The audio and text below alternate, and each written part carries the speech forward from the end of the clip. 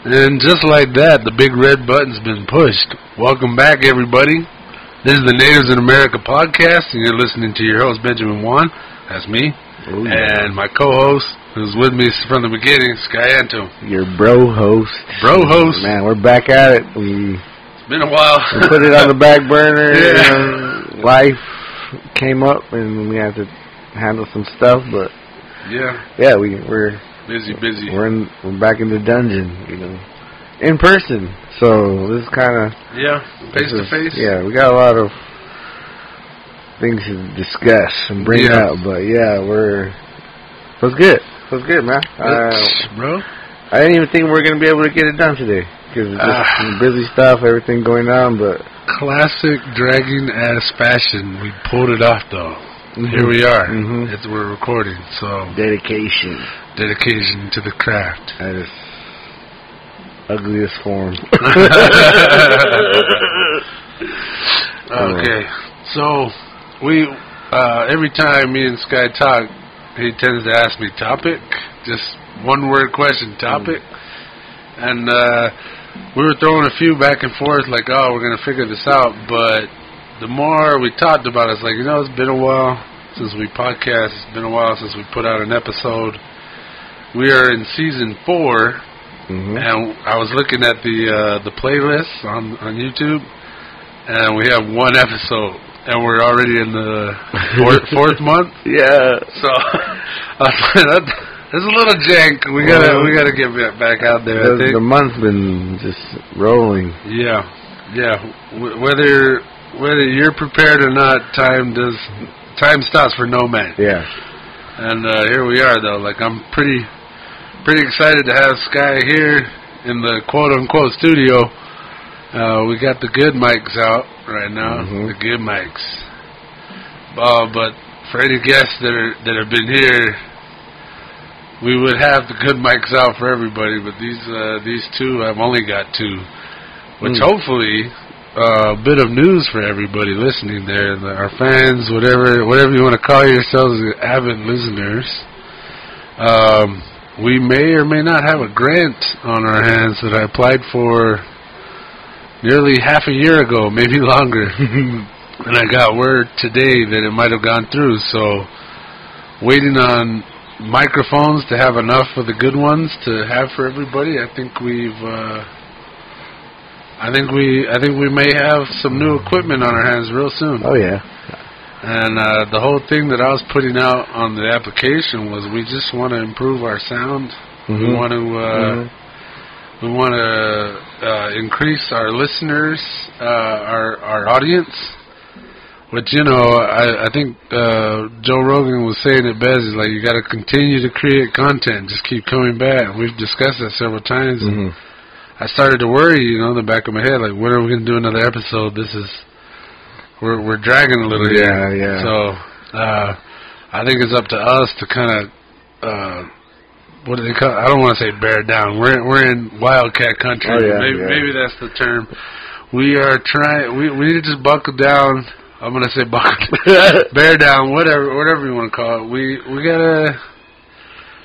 What do they call it? Put rubber to pavement. We we got we got to get it going here. Mhm. And I think uh, I was looking at the numbers on our playlist, and I think uh, season one was something like 16 episodes, maybe 14. Season two, we had 48 episodes, something like that. Wow. Season three, it was down to like 26, I think.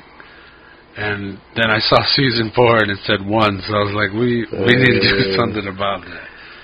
I'm I'm not trying to put us on Nah, any kind of limit, nah. like oh we got we got to get so many done, but I think we do need to start getting it done a Yeah. little a little more regular here, Oh yeah. especially Um, especially for those just waiting on the new content. Like where, where is it at? Where's it at? yeah, yeah. I mean, I when uh, somebody says how's the podcast going, and I'm like, uh, we're kind of. And the and all they say is, yeah, I kind of saw, you know. um, because yeah, we somewhere in the timeline of yesteryear and now we were. yeah, Um, I think we had more free time. Hmm, and, definitely. Um, jobs were kind of different. and so I, I mean, I, I, I just think we're, you know, trying to be outside, but you know, still making the time to be, um, putting in the the time for the the pod. So Yeah.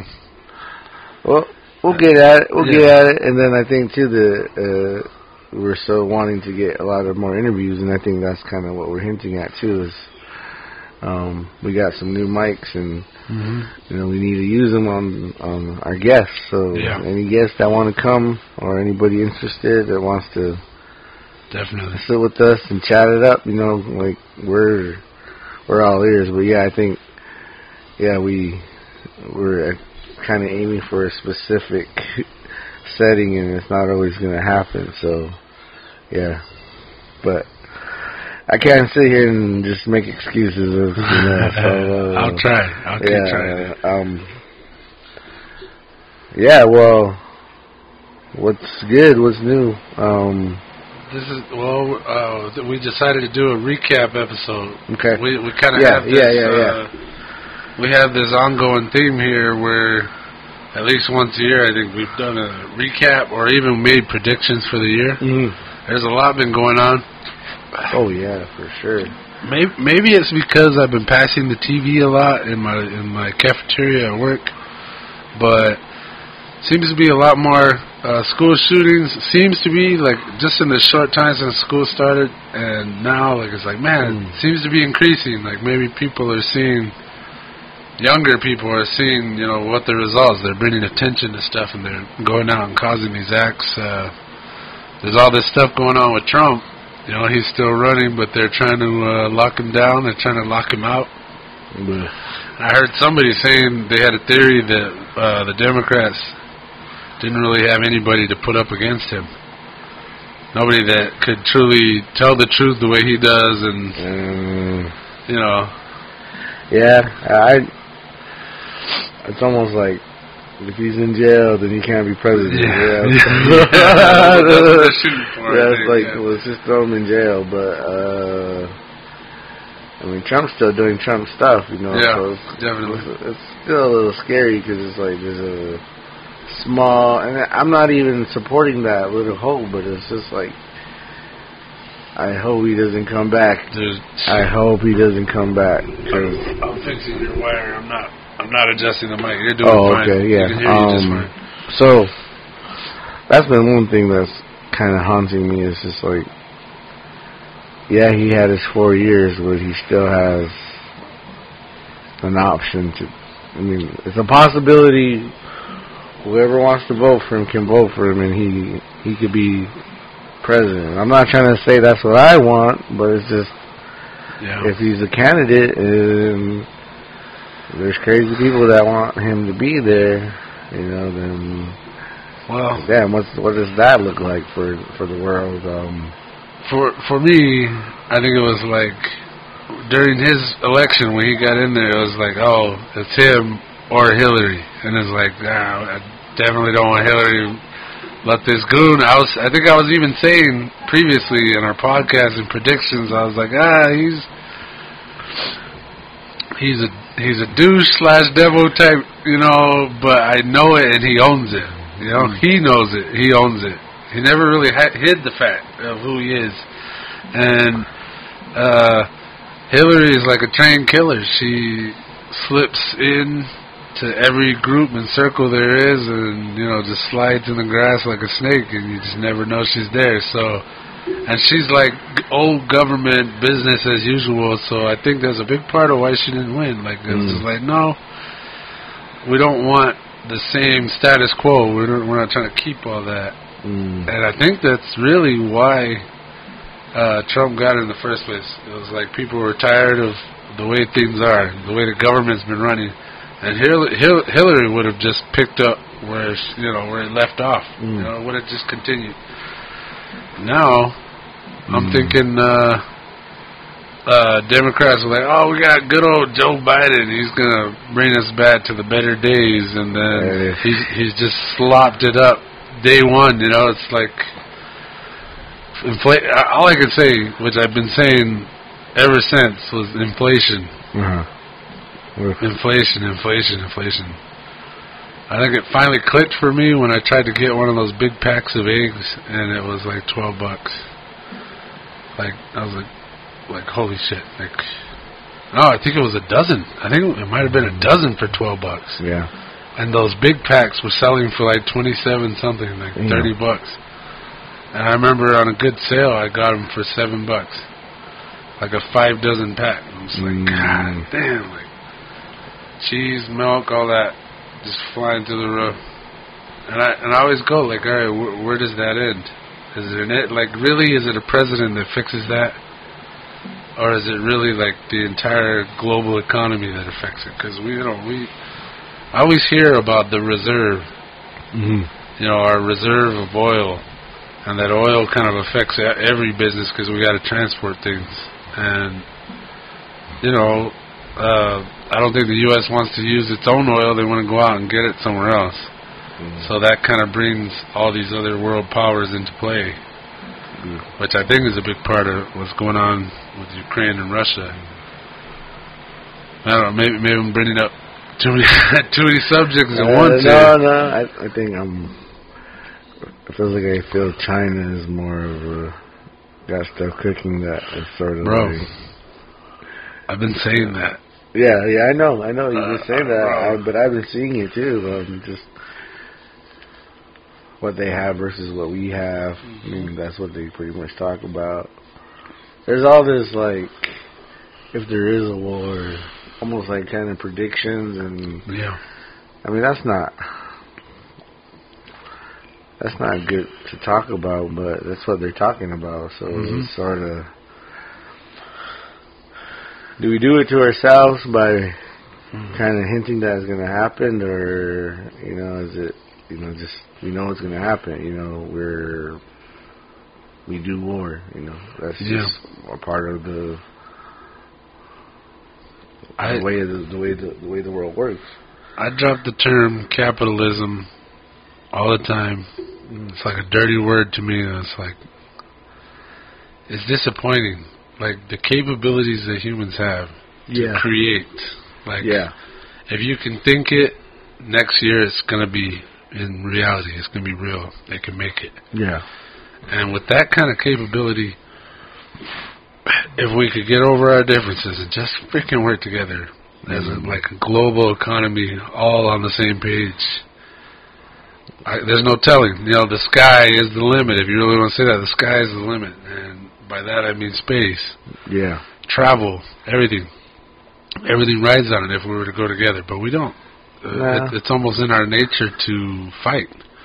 or compete. You know? Yeah, well, compete. Yeah. And and I've heard you know competition's great because it causes you know people to really throw down and you know fight for the same cause, like like the Mm. space race. You know, it created all these advancements in technology, and so does war. All right, like so does war. Like let's not forget that the internet was born out of a DARPA program. Hmm. You know, Department of Defense. Yeah. Um, so it, it always drives me crazy to think like we go with cheaper, crappier stuff because it means it's, it's going to have to be replaced. We're going to continue to make money off this idea instead of making it good or making it fast and cheap and breakable. Mm. And, and you know, it's like uh, how many problems, world problems, that people face: hunger, you know, famine, uh, uh, uh, illness. hmm I mean, let's get into COVID here. Like, the, like, how much could that? How much of all these problems we have could be solved if money wasn't the agenda? If making more and more money the next year, like, I remember working for the hardware companies, and it was like, um, they would set a goal, like, all right, this is this is this is our goal. We're gonna we're gonna do better than we did last year. We're like, okay, let's let's go for it. Let's do better sales. Let's do better customer service. We go for it, and we hit that mark and go beyond it. And they're like, oh hell yeah, success checks all around. Here you go. You get a piece of the pie. You know, like make it all built it up all good. But then what they do? They damn near du- doubled the next goal. Mm. They're like, oh, well, we d- you guys did so good. Let's do it even better next year. but what they were really doing was setting it so high that it would be impossible for us to reach it. Yeah. And the point was they didn't want to pay out every time. They just wanted to get us motivated enough that oh maybe you could get another check, but you don't. Yeah. And then they'll lower the goal again, and then we shoot for it. And if we get it, cool. If not, maybe they escaped without mm-hmm. giving us another set of checks. Yeah. So, same with pharmacies. They're they're gunning for the dough. One pill will cost you know a certain amount one year. The next year, oh maybe we could double it. Maybe we could triple it. See how much money we can make, and then let's see if we can double that. Like, Yeah. and it's the same product. It's not like they've improved it. They're selling they're selling the same crap. But now they want to raise their value because they can and because they did. Yeah. And that's kind of the source of capitalism altogether. It's like more money, more money, more money. And that causes pain and hurt Mhm. all ac- you know all across, especially in the people who actually need that medicine. Yeah. And then I go back again. Would these people even be sick if the real goal wasn't making money? What if the real goal was solving the problems, making people live forever, healthier lives, Yeah. better quality of life? Hmm. You couldn't continue to sell medi- medicine to somebody if they get better, Yeah. which just blows my mind. It seems really dumb. Well, I guess that there's an end goal for every individual, but then as a whole, we don't necessarily like kind of have it together like that, you know. Everybody's kind of focused on their own mortality, and Yeah. I mean, yeah, we want to be rich, but at what cost? Because uh, some people get the short end of the stick. Yeah.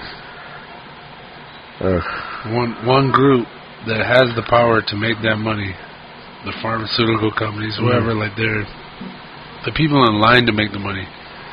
They get richer and richer, and the people who are making them rich are paying out of their pockets. They're getting poorer and poorer, mm-hmm. and the divide between the super rich and the common man gets wider and wider. Yeah.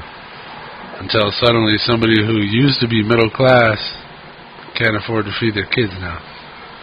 It, it blows my mind. It's disgraceful. Yeah. Well, I think it too. Like, you know, if you, you know, more money, more problems. It's like what they said. Biggie. Yeah. You know, like we get a, we get we move up this the food chain, and then we want other things, and then those things require more money, and Mhm. so I guess how we measure the quality of life and how we're all, I guess, what is it that we want out of this experience? Because if it if it's not to be rich, then what is it? But then if it is to be rich, what are we getting out of that? Because uh, I don't know. Some, I guess I I look back on my times and and I've said this a lot of, before, where it's like some of my best times are when I was broke, and then well, not all of them, but you know, Mhm. just how you can still be happy with not much, Mm. but yet there's this other side of it where everybody's cutting. I don't say they're cutting corners, but they're they're not thinking about a whole lot of things. It's just sort of more money, Mm. more Yeah. revenue, and it's like the the shortcuts and the I guess the humanity side of it, where we're not looking out for each other. We just want the money. Mm. I don't know. It's feels like it's going to be a another lesson that we're going to have to learn, rather than Yeah. um because we're not unified like that. Yeah. You know, we're not. That's sad. It, sad it is to say that. Like we don't got our stuff together, like as a whole. Yeah. and we'd kind of do it to ourselves by, you know, going against other countries, you know, Mhm. or comparing what they got versus what we don't got, and yeah, just sort of, I don't know. And America is it's kind of like a little bully itself, so it's almost. Mhm. Sometimes I'm like, man, when's when is someone going to show America, or when are we going to learn our lesson? Because it's like it's just kind of. I don't know. I mean, I'm not saying we deserve a lesson or we we need to be put up in our place, but it just seems like there's a lot of stuff that we're doing that is harming us rather than Hmm. making us want to live longer or maybe strive for a high quality of life. I mean, not thinking about money, but just I guess what is what is it all about? Hmm. Mm. Like I think what's kind of interesting is perspective. Like um I've been poor all my life. So like the idea of rich it's like man, all the things I can't do unless I had money. If only I had some money. Mm-hmm, mm-hmm. More more vacations, more trips, better cars, better food. You know, it's it's uh it's like the the greener grass on the other side of the fence. It's like I I did never had it, so I want it really bad. And then you kind of think about people who have been rich all their lives, like the the generational wealth. Mm-hmm. Their fight is to keep wealth and to keep others from having it. So Yeah. they don't, you know, they don't have to share it. And like, um, I was think, I think, well, I was just thinking about it while we were talking here. Was that it's kind of funny that right now I'm talking about inflation. I'm th- talking about food. We just got some food right now, and it was, I can guarantee you, it was at least forty, thirty-five, forty bucks for one meal. When it, never, it wasn't like that before. mm-hmm. But you know, like what, the the funny thing is, like right now, I would hunt for a deal. You go out, get some food. Oh, I want to get it as cheap as I can. Yeah. But then, if you were to buy a car that's the cheapest one you could get, it's gonna break down on you next week. You know, it's like it's not great. That's the funny thing is like with food, I would love to get a deal. Mm-hmm. Uh, hunt for it. Gotta get it. Gotta get the cheapest one. When damn near everything else we, you know, buy, like, oh, I don't want the cheapest one. I can't afford the most expensive one, but I don't want the cheapest one. Yeah. Because it's, it's a piece of crap. But then you go, all right, uh, go out to eat. You're like, damn, I better save a couple bucks. Yeah. you know, so I, I don't know. Like, uh, and then there's the rich where they wouldn't dare eat, you know, fast food at all. They're like, oh, fresh, organic, everything. And I was like, okay, well, you can afford to do that, you know, maybe a lot of people can't. Yeah. Well, I remember one of the the looters in the, the on um, January was Yeah. the sixth where Uh-huh, they uh-huh. The insurrection. yeah one of the guys that was thrown in jail was not eating because the food that the jail offered wasn't to his standards of Oh. Or his diet. You know, he couldn't eat what they were serving there, but it's like Wow. Yeah, from from another perspective that goes through that system, they don't have. Three, like three they, square meals they can't even day, yeah. say this is. Maybe they can, but they ain't gonna. I don't know. It's just, it's just, it's just, it's just kind of silly in in, in in the way we think of things. And yeah, I mean, I don't know. It, it's. I mean, even growing up, like, you know, with with your grand grandparents or, you know, and not having all those options on what to eat or getting like today, like you know, we're in the city, so we can go eat out or Yeah. we have all these options. But like, you know, growing up, you know, you didn't. I can imagine. I can't even imagine trying to tell my grandma, "Hey, I ain't eating this," or Yeah. this Good isn't this isn't organic, grandma. You know, like, this is I only do soy, uh, grass fed, cow. You know, just all these these um high standards of whatever, and Mm-hmm. and how it wasn't always um not so much we were we were picky now, but it was you know you kind of got what you got, and and that was it. It wasn't Yeah. you know no debate on it or wasn't no protest. You know, it was just sort of like I'll get slapped if I tried to oh yeah. to to do any kind of silly stuff like that because it was like this is This is I worked hard for this. You know, Yeah. this is this is the this is what's feeding us today. So. Mm. I mean, so I mean, I, I guess it's like you can relate, but then you also can't relate because there was times where I didn't want to eat what we're eating, but then it was like also so like that's all we can eat. You know, that's that's what that's what we're eating today. Mhm.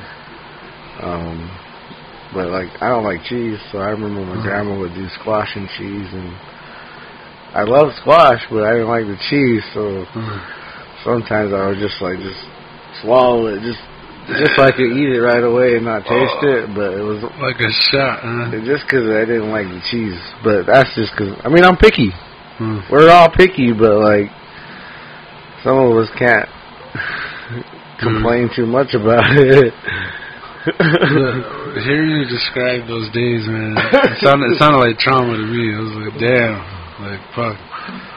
I, I think you were saying something about like eating the cheese and then drinking water like you're taking a pill, something like that, wasn't it? Mm, yeah, because I mean, like, I just, I never could. I don't know what it is about cheese that just grosses me out. Huh. And yeah, And I, I can't get enough of it. I'm just, I'm not one of those. I'm, Huh. not, I'm not like you. Uh, you're built different. that's all right. I think that's why this works. Um, but yeah, uh, some of us didn't have that option to be picky, Mm. and if we did, we we kind of didn't get shit for it, but it was sort of like. Well, starved. I, I can just hear my mom saying, "Well, we'll starve then," you know. Well, you can starve. You can starve for all I care. I cook this shit. Yeah. Um. I, I I've brought this up before, I know, but I'm gonna do it again. You know, hey, we we have so many so much content now that uh there's a good chance you guys might have missed it. So I'm gonna say it again. Um. Uh, way way later. So there's me growing up. Same thing. Like, oh, I don't want I don't want to eat it. Like, I, my thing was the little snap peas still in a pod that comes in stir fry. They're like flat and they have like all the little seed pods in there. I couldn't do it. I remember falling asleep at the dinner table once where my mom was like, "You're gonna eat it or you're gonna stay there." Uh-huh. And I fucking I stayed there until I was asleep at the table. I didn't do homework, you know. I didn't do any of that. And uh, I think there was like a battle of the wills that maybe I won, maybe I didn't, but I didn't. eat- I, I didn't have to eat those. yeah. I didn't in the end. And uh but that wasn't what I was trying to bring up again was uh as a kid I ate and I always felt like oh we're we're eating pretty well. You know, I I didn't have many examples to compare with everybody. Like I'd go and eat at my buddy's house and it'll be good and it'll be good at home. But when I grew up and talked with my mom, she's like, you know, we ate she's like, um I was talking about my paychecks compared, and then she would compare it to her as her paychecks as a teacher on the reservation. And um, she told me the way she put it was like uh, we ate a lot of rum, a lot of hot dogs and, mac- and macaroni and cheese. Mm. And when she said that, I was like, wow, like uh, I, I love hot dogs and macaroni and cheese. yeah, like, yeah. I didn't know that we were poor. Yeah. I didn't know we were starving and that's what she could afford, like to keep us all fed and do the job. But in her mind, I was like, oh, we're we're broke and I got to make ends meet, so we're gonna eat a lot of hot dogs and macaroni and cheese. Uh-huh, uh-huh. And in my mind, I had no clue. I wasn't aware of it. I just really liked macaroni and cheese Yeah. and hot dogs. I still do. I'll say that right now. it's, like, it's like wow. Pers- again, perspective. well, I guess I mean, so there's want to say poor food, but it's like there's food that's well poor people eat, but yet it's still good. Yeah. Yeah. Um, but Make it work. Make it work. Throw Yeah. some cheese on it. Uh, gotta throw uh, some cheese on uh, it. well, again, I guess use love, you know, when you're Yeah. cooking it. Yeah. I think that was sort of what it was, Mm. you know. Um, but then I also know that, like, I think of like my grandma that just knew how to cook like her, Mm. that just had it, just had the skill Yeah. to where they could make anything taste good. Mm. uh, I think I think that when growing up it was different because um, you know my mom was going to school and we were kind of coming home early, so she was sort of like you know teach us stuff to cook, and so Yeah. food would be done when she got home, and then we all ate. So like Nice. I think you have a little bit of appreciation when you cook it. Yeah, for so sure. I think we were cooking our our own food pretty young. Yeah. And I, even even I think of like my brother, like he's a way better chef than me, but I think he also uh, had the skill. you know I mean? I, I think there's some people that are just chefs. Yeah. I mean, they're they got it like that, you know, opposed to somebody else like myself, where I might get lost. I might get lost in in the sauce of, of, of, of what what's all there, because yeah, it's a it's a I want to say it's an easy thing to do, but it's I guess to make a meal and for it to even be co- cohesive and Mm. gel and just get all the elements. I did tea. That was my Yeah. specialty. Was the cinnamon tea. So Cinnamon tea like, maker. You make the tea. You know? Nice. uh, because no, one time, uh, this is a story. Is uh, you know the shake and bake. Uh-huh. We did a lot of shake and bake back in our days. Uh-huh. And uh, I read the instructions wrong. Or no, no, no, no. I did. I think I was trying to do chicken shake and bake, but I was using a beef recipe, Uh-huh. and Uh-huh. so the numbers weren't matching up. So Uh-huh. when I did my chicken, it wasn't done. And so Oh. like, you know, everybody kind of like, uh, you make the tea. you, you stick to the tea, guy, yeah. You, you, you did tea really well. Let's just Yeah. keep you on tea from now on. Uh, our our spaghetti, our um French bread, Okay, nice, bread, nice. So I think garlic bread is one of my One of your, something one of of special, deals. yeah, specialty. But Do you do you think if that chicken didn't come out raw, or if it was a chicken recipe for the same thing, like do you think if it came out better, they would have said the same thing? Well, I mean, like you think, like like you're saying, oh, my brother's a chef, but like, um, no, no, I think prior to that incident, I think I had done good, uh, and then one day. I think I was wasn't paying attention, or just I fucked up, and then so uh, I think that they still bring it up. oh yeah, it's still a These is not raw like Sky's chicken. Right? it's still a lesson. Like learn from his mistake, man, because that was gross. God damn. But yeah, um, yeah. I mean, I think even now, like, not so much they don't trust me, but I. I wash the dishes. I, I think I'm, I'm more of the dishwasher, Hmm. Hey. dump the trash. Oh, yeah. You know, oh, the trash looking full. I got you. I got. My time to shine. yeah, yeah, that's the big thing. My moment. Step back, everyone. I got this. Got this. You don't know how to do it. Get back. I got Yeah, this. yeah. Watch. You can't do this. Learn something. yeah, learn something from me. Watch. You might learn something. So yeah, I, I guess I never got promoted. Hmm. I don't know. That's I I have a weird relationship with food, and Huh. I mean even now, like um, like I don't really have a schedule. I just kind of I'm spoiled. Like I, you know, I I live at my house, but like sometimes I don't plan on what I'm can cook there, or Mm. I can just roll up to my mom's house and they're cooking something, and Yeah. I'll eat what they're eating, or Yeah. or now I'll roll up to Tucson and have dinner with my friends. You know, so Yeah. I kind of I'm not really on a schedule versus like I say like my brother. You know, he has his daughter, and I think when you're a kid, you kind of have to maintain a regular diet. Like, you know, this the time we eat, this the time, you Yeah. know, Yeah. which I love. But like now, where I'm just this wild bachelor, getting crazy, you know. nah, just kidding. But I, I don't. I mean, I could be eating.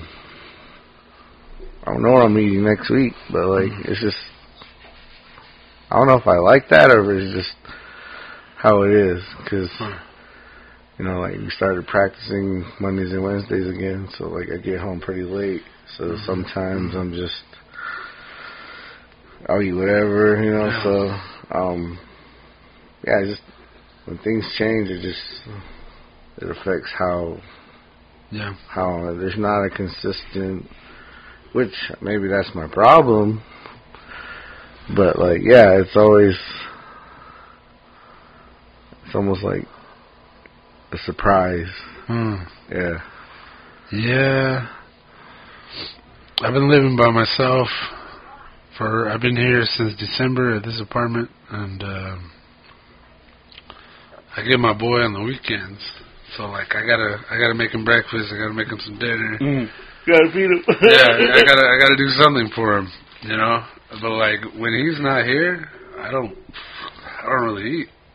I don't eat, I don't cook. It's like yeah I'll be. I don't. uh, I don't. I don't want to say I don't. I don't deserve it, but it's like I don't. I don't I'm not. I'm a no frills guy. Like I don't need some fancy dinner to be okay. Like uh, yeah if I don't have people to cook for, I'll make the bare minimum to keep me alive. It's like the Matrix, and they're eating that slop. yeah that goop yeah, yeah. Tasty wheat. Yeah. You know, it's like that. I, I'll get by on some noodles, you know, and maybe maybe a little piece of meat that's been in there, you know, or something like it's like whatever I got. yeah And it's funny, like I, uh, I've been talking with uh, people at work, and every now and then I ask my coworkers, "Oh, what's for dinner? What are you making tonight?" And they're like, "Oh, I'm gonna." I'm gonna make tacos, or I'm gonna make this, and make that. And most of them, they all got like their kids they're going home to, and they they got their families to feed. So it's like I got plans to make this, this, and that. They don't always do it, but it's still like, oh, this is that's their life. And I come home and it's like, eh, what do I got? What yeah looking yeah around like you were talking about uh your grandma knowing just how to make stuff uh-huh. and I was thinking about my mom she uh she was the second oldest out of nine kids. And so she, and and my gra- my grandparents they kind of made kids in groups. So it was like three and then three and then three. Uh-huh.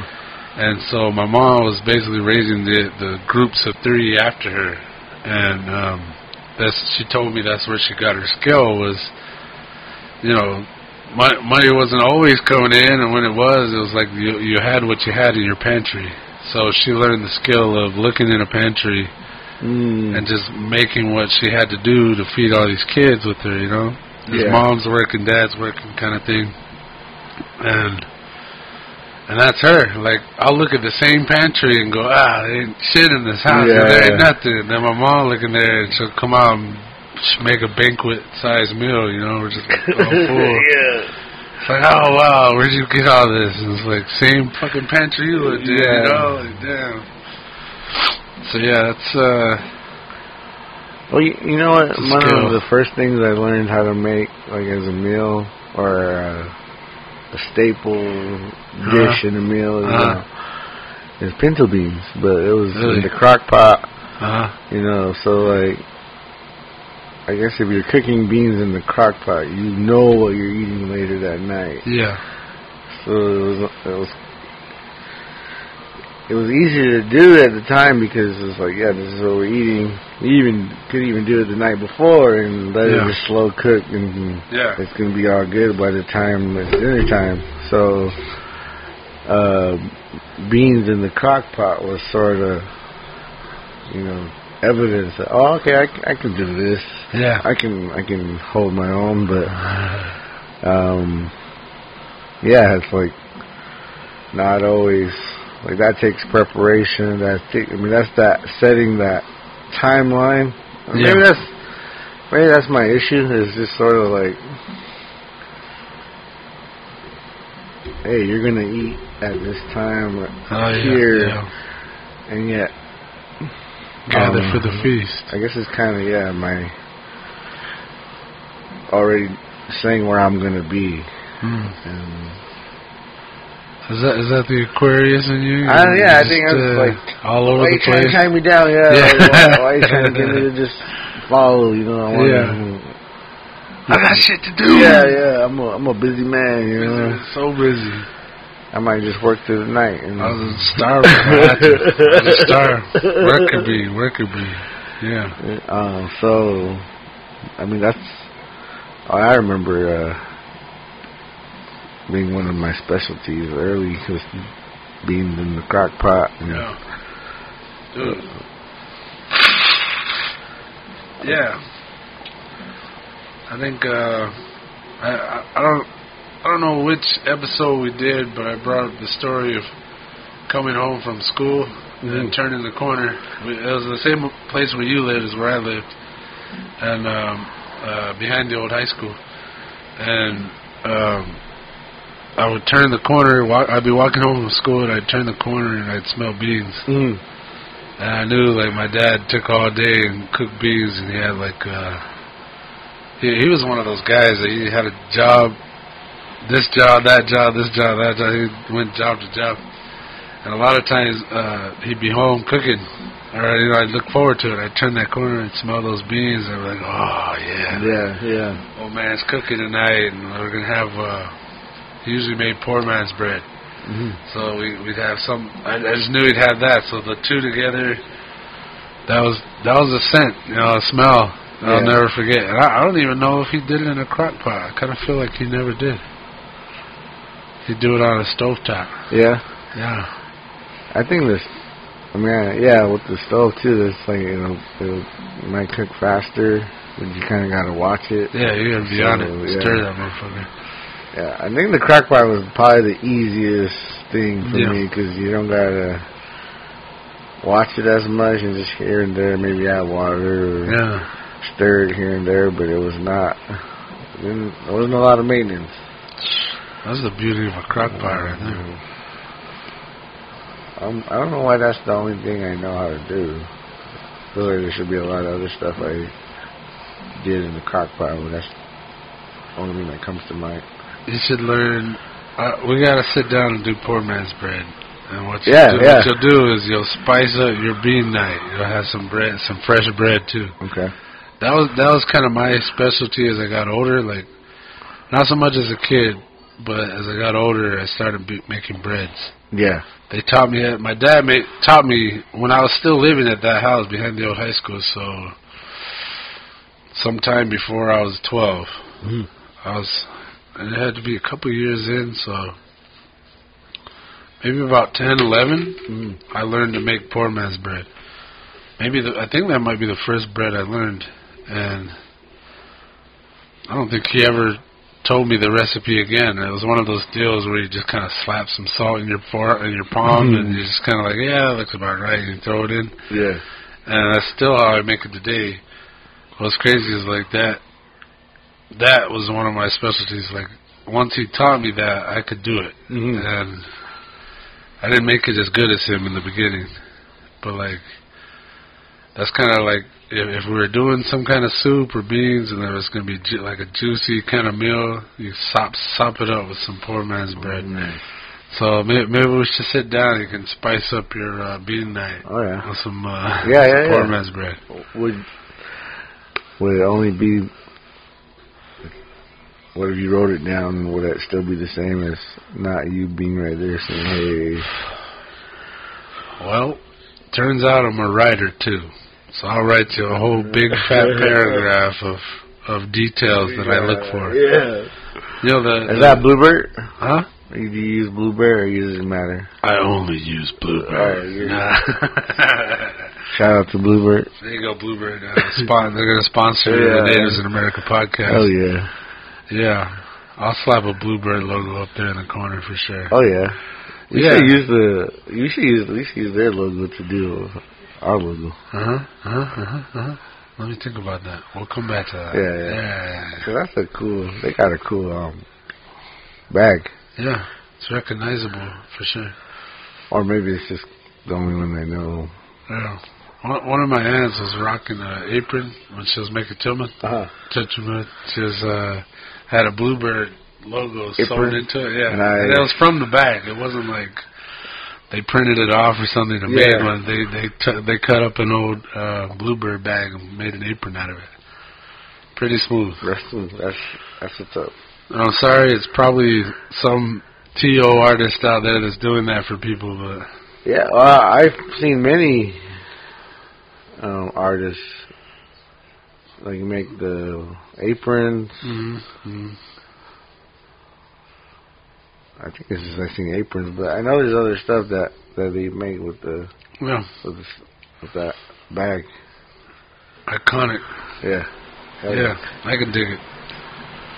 But you use Oh, dude, I'll, I'll use whatever you use got. whatever. Like, uh, it seems to be finer. I Uh-huh. think they sift it uh, or something. Like it, it seems to make like a softer dough. I've made uh, yeast bread with that, and it made really, really fluffy bread. So, you know, instead of getting the all-purpose two dollar five pound bag and bashes, you know, the bottom shelf, whatever. Grab a decent sized bag of bluebird for a little bit more, maybe, uh-huh. and uh, you can make a couple batches, Yeah. and they'll all be fluffy. Mhm.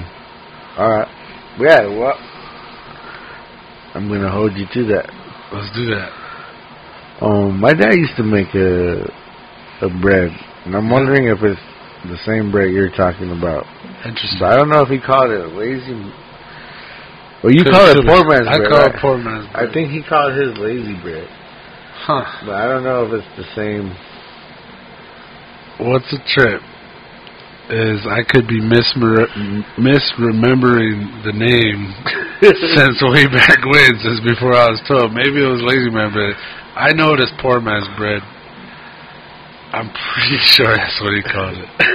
I no, I think it's kind of the same. Uh, when, when, it, man when it was ready, lazy. when it was ready to start throwing in the pan, it looked a little bit. It kind of flowed a little bit like a pan pancake Uh huh. batter. A little thicker, but yeah, same concept. It runs, you kind of pour it into the pan. Okay. So I'm, I'm just asking, is that what you saw when he Uh, was I making it? don't. No, I don't remember. I I just remember eating it. Just Huh. Big and fluffy like Yeah, that? like- Like, big, like, well, it It's was thick. it was kind of like a biscuit, okay, okay. but Huh. yeah, like you you would be able to cut it in the middle and then Yeah. put butter and jam on it. Hell yeah. Yeah. that was that was a good snack. Huh. But damn, it's been a while. I mean, that's interesting. You so- yeah, I always wonder when you talked about that if it was the same thing as what my dad called lazy bread. Huh. Well, what would make a bread lazy or poor is probably the same thing. That it's like three ingredients, Yeah, easy. three or four ingredients, and you just slap it together. Yeah, In like half an hour, I could get you a batch of poor man's bread. yeah. Yeah, real simple, real simple. So simple for a lazy man and affordable to a poor man. Well, what's a bread that is like like stressful? Like, damn, this is a lot of work. This is too much. For me, is my chumma. I can make chumma, but it's never what my aunts make. Mm-hmm. My aunts, they're all chumma makers. Yeah, They can all make chumma, and it's it's it tastes right. They're paper thin, Oh, but not so thin that they turn to chips. You know, the second you try to fold it or whatever, and then I do it, and it comes out like panties and states, and they're thick as fuck on the edges, and it's just it's not good enough. So like. I know what good It's not a looks circle. like. Yeah, it's not nowhere near a circle. Squares, you know, like U's and P's. The letter H. Yeah. when you really try to hold it right and throw it on there, and you try to really think about how you're holding it, you make a perfect thong every time. Oh, perfect thong. But um, yeah, I think I think that's the one that stresses me out the most. Like, uh, I think the one I'm trained most on is yeast bread because Uh-huh. I've made so much freaking yeast bread. But like, I I could probably still count on both my hands how many times I've made chumma. And you know, pra- like all the other breads, it takes practice. But my thinking is like, I've got a lot, I've got some stiff competition for bread when it comes to chumma. Uh huh.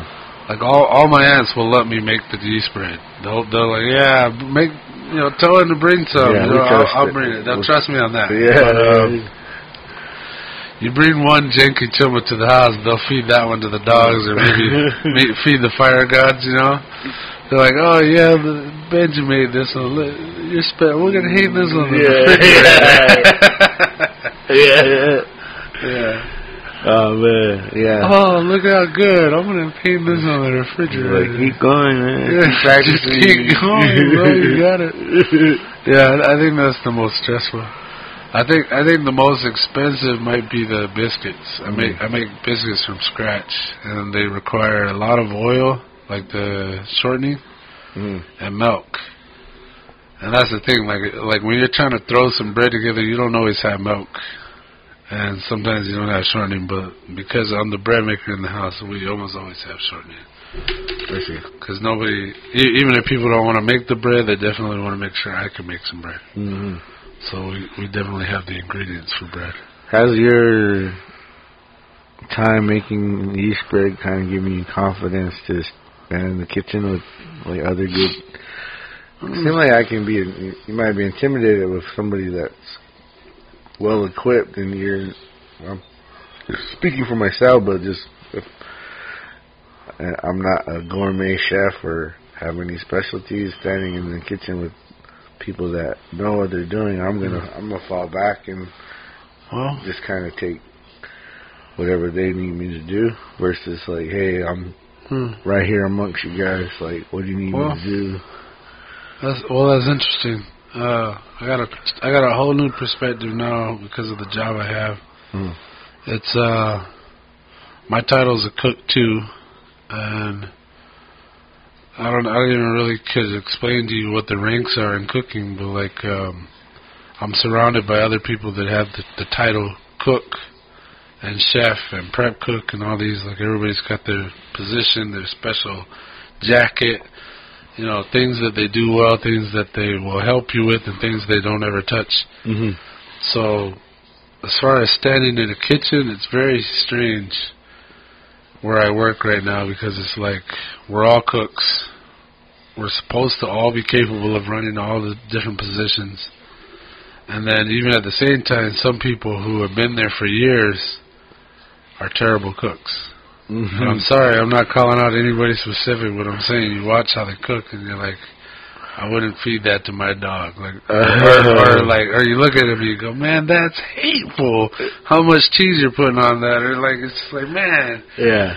you could put a little more on there. Huh. Come on now, you know, they'll give you a little pinch of fries, and I'm like, come on, man. Come on.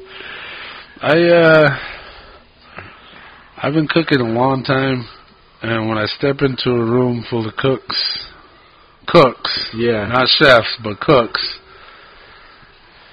Uh, personally, I'm not confident when it comes to that. Like, I, I've never been trained to chop onions right or whatever like that. I can get it done, but you know, I'm not going to do it as fast. But I feel like I do know how to cook.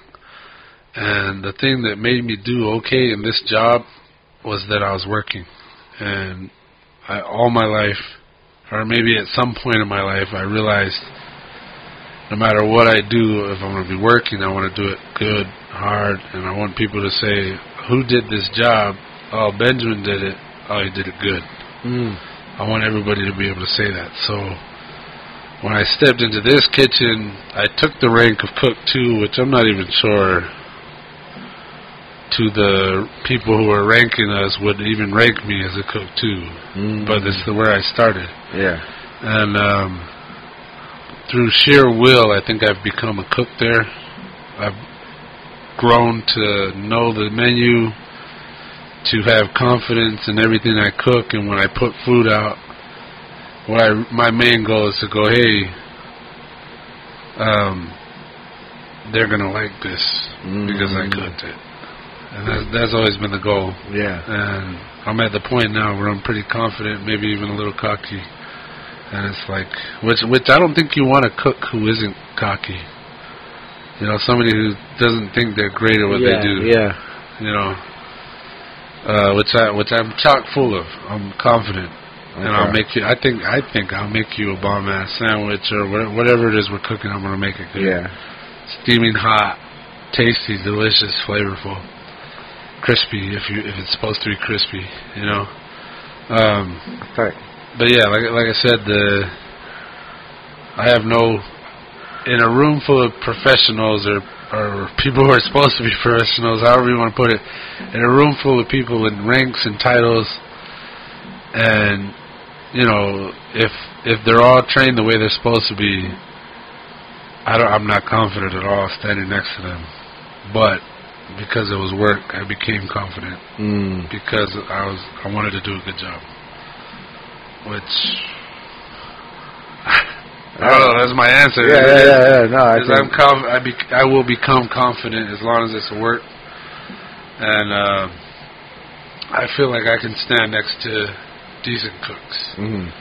I, I wouldn't dare call myself the chef, you know, which in French, and that's where a lot of really good food comes from. Is the French is uh, chef.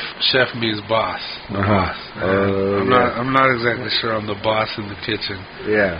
but I think I do get respect for how hard I work. Yeah. Yeah. That's awesome. Yeah. That's awesome. Or at least, that's what I hold on to to get through the day. you know? Yeah, yeah, yeah. yeah. Hope, hope. Way to retire yourself at night. uh. Yeah. I well, I. I. Yeah, I. I've never been there where you were talking about. Hmm. but I stood outside and admired chefs and like all the I just want to watch and Yeah. I mean I like knowing that you know that it's made by somebody like oh they made this they made the gimlet their their popovers are good I Mm. Yeah. I I guess looking on the outside same thing with your yeast beer like oh yeah I guess the critic of it. Well, even that too. Like maybe I'm just doubting myself, but even though, I guess who's to say anyone has good taste? You know what I mean? Yeah. Yeah. Or one, one of my fellow cooks, he says that all the time. He's like, you know, taste is a very subjective uh, uh, subject. Subject. It's a very subjective thing. yeah, Where one thing that tastes good to somebody or great to somebody can taste like they might be eating dog shit, you know, and it's Mhm. all people's flavor. Now, uh, I think I brought this up before, maybe, maybe not, but it's always stuck with me. Uh, when I was uh, in high school, maybe middle school, I went to the cafeteria uh-huh. one of my cousins she didn't work in the cafeteria i think she worked in the office at the at the high school and she was in line behind me and i got my plate and i immediately stuck my head over the plate and took like a big whiff like you know like ah like food and she looked at me she was like oh my god like oh it's disgusting like you're like a dog like get out of here and it always stuck with me and like later as i grew to learn you know, science, maybe a little medical, that we only have five, I think it's like four or five senses of taste on our tongue. Uh huh. It's like sweet, salty, bitter, and sour. So how is it that with all the food that's out in the in the world, how the hell isn't it all just oh this is bitter, sweet, salty, sour? Uh-huh. And what it is is our sense of smell. So you smell the food. There's all I don't I don't know the numbers. I want to say billions. I want to say there's millions of senses Uh-huh. in your nose that pick up all these special little scents. So when you add bay leaves or salt or pepper or spices to your food, it affects those. Mo- well, salt obviously goes with the salt. You know, bitter might be some kind of uh, vegetable. Yeah. But when you smell it all together, that mixes up what you're tasting. It adds to it. It adds. It, it creates more to just sweet, bitter, salty, Yeah. sour. So Damn. Long after, I never got to give her shit back. You know, like yeah, I ain't no fucking dog. Like, this is, I, I'm doing it right. I'm doing it right. I'm smelling my food and making it better. But I always wanted to say that, cousin out there. I think you know who you are. Yeah. So, but at the time, why were you smelling it?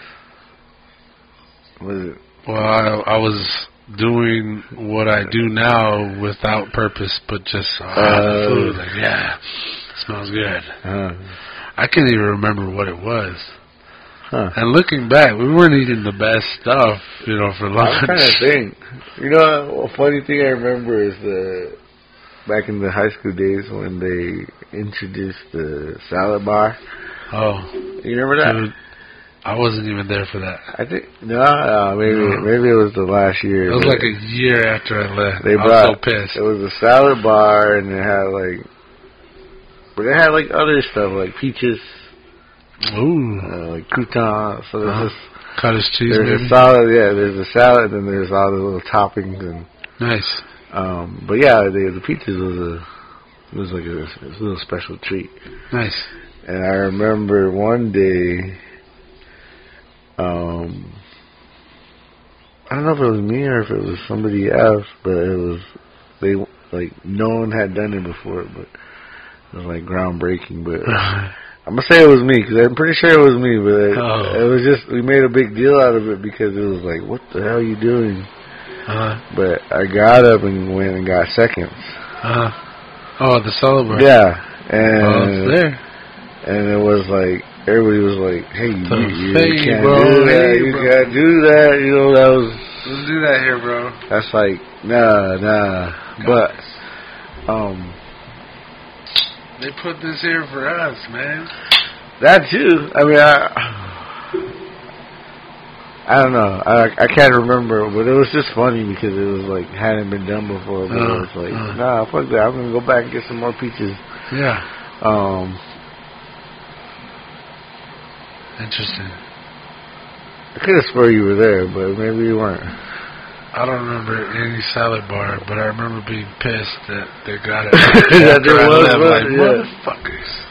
Uh, It was like that that theater that they built in Topawa. That was the high school when, oh, when. That was being built when I was in high school. It was just but a pile of wasn't. dirt, yeah. It wasn't finished until after I left. After I oh, graduated. oh, that was same for me too. yeah. So I, I've, I don't, I'm pretty sure I've never seen the inside of that motherfucker. Okay, so that's why I mean I know the I got off sidetracked with the salad bar, but the the smell, like this our scent, Uh huh. like what if I guess if our we're taking a whiff of something, uh I wonder if our our sense is like, oh, I remember this from past times. Oh, yeah. or, Oh, yeah. Is it like Yeah. I already know it's good because they just Think about how close your nose is to your brain. Like how short those the nerve endings gotta be. Like boom, straight to the brain. then bone. Yeah. Yeah. Okay. And then in your brain everything's all compact and together and if you're exactly where your memories are. Mm. Like I said, uh the smell of the beans as I turn the corner. yeah. You I can I can still hear uh Andy Griffith, you know I could hear that in my head. Yeah. I could see my dad. I can see the house, your house, my house, the same house. Your I house could see my it. Yeah. I could. I could. I could remember the grass as I turned the corner. Yeah. I could smell the beans right now. I could smell them. What's a smell that you you don't like? Rotting flesh. Uh, huh. Which is crazy because I always wanted to be either a cop. When I was really young, I wanted to be a cop. Then I met cops and it was horrible. But like, uh, I'm into medicine uh-huh.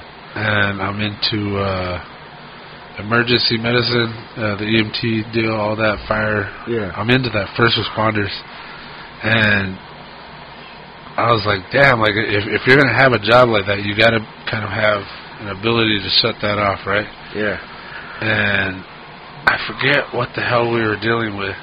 One one part was we were exploring the uh we were touring the hospital, Uh-huh. the UMC, Okay. and we went down to um the morgue. well, we did go down to the morgue, but I think my now that I actually think about it, I think I'm going back to uh the smell of formaldehyde in seventh grade, Uh. seventh or eighth grade. That too was in Topawa. It wasn't always the high school, but uh I remember we dissected worms and Uh. maybe starfish. What? Well, you were there. I know you were there. I think So it was must a have been frog. freshman. Yeah, frogs. Shoulder. That smell. That guy. Yeah, yeah, yeah, yeah. yeah. Yeah, I know we did frogs.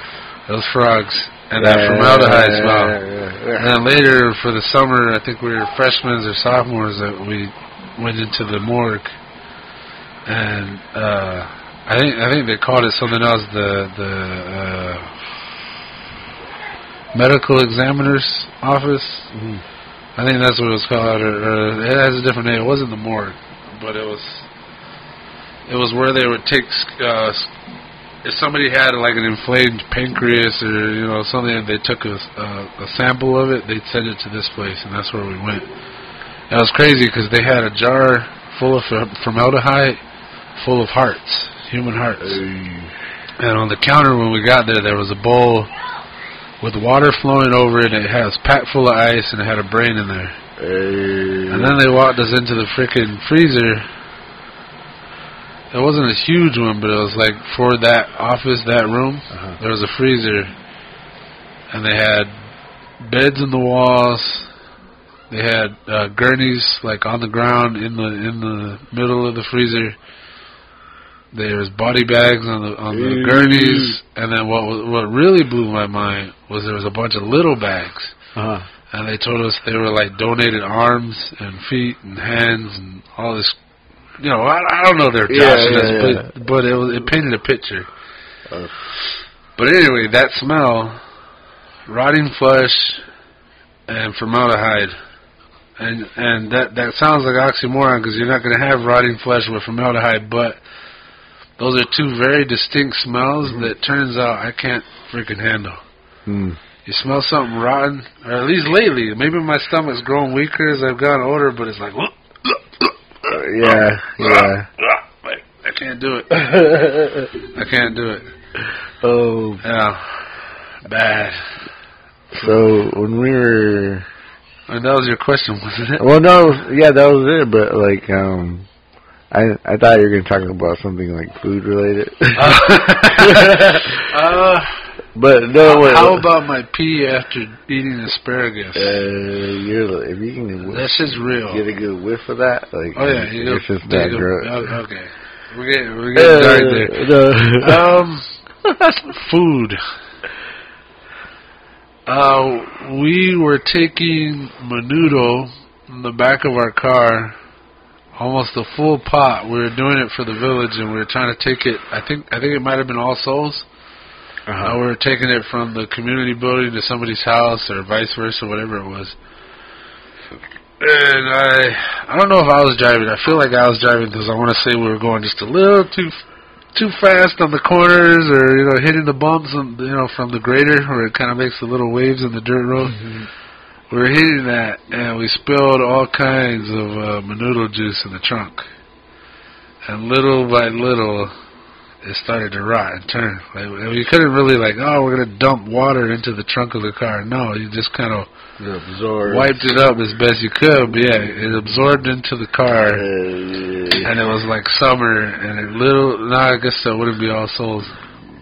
I think it might have been. uh I think we were taking Menudo to the feast house for a. uh a funeral or a feeding, maybe St. Anthony's. That sounds a little more uh springtime.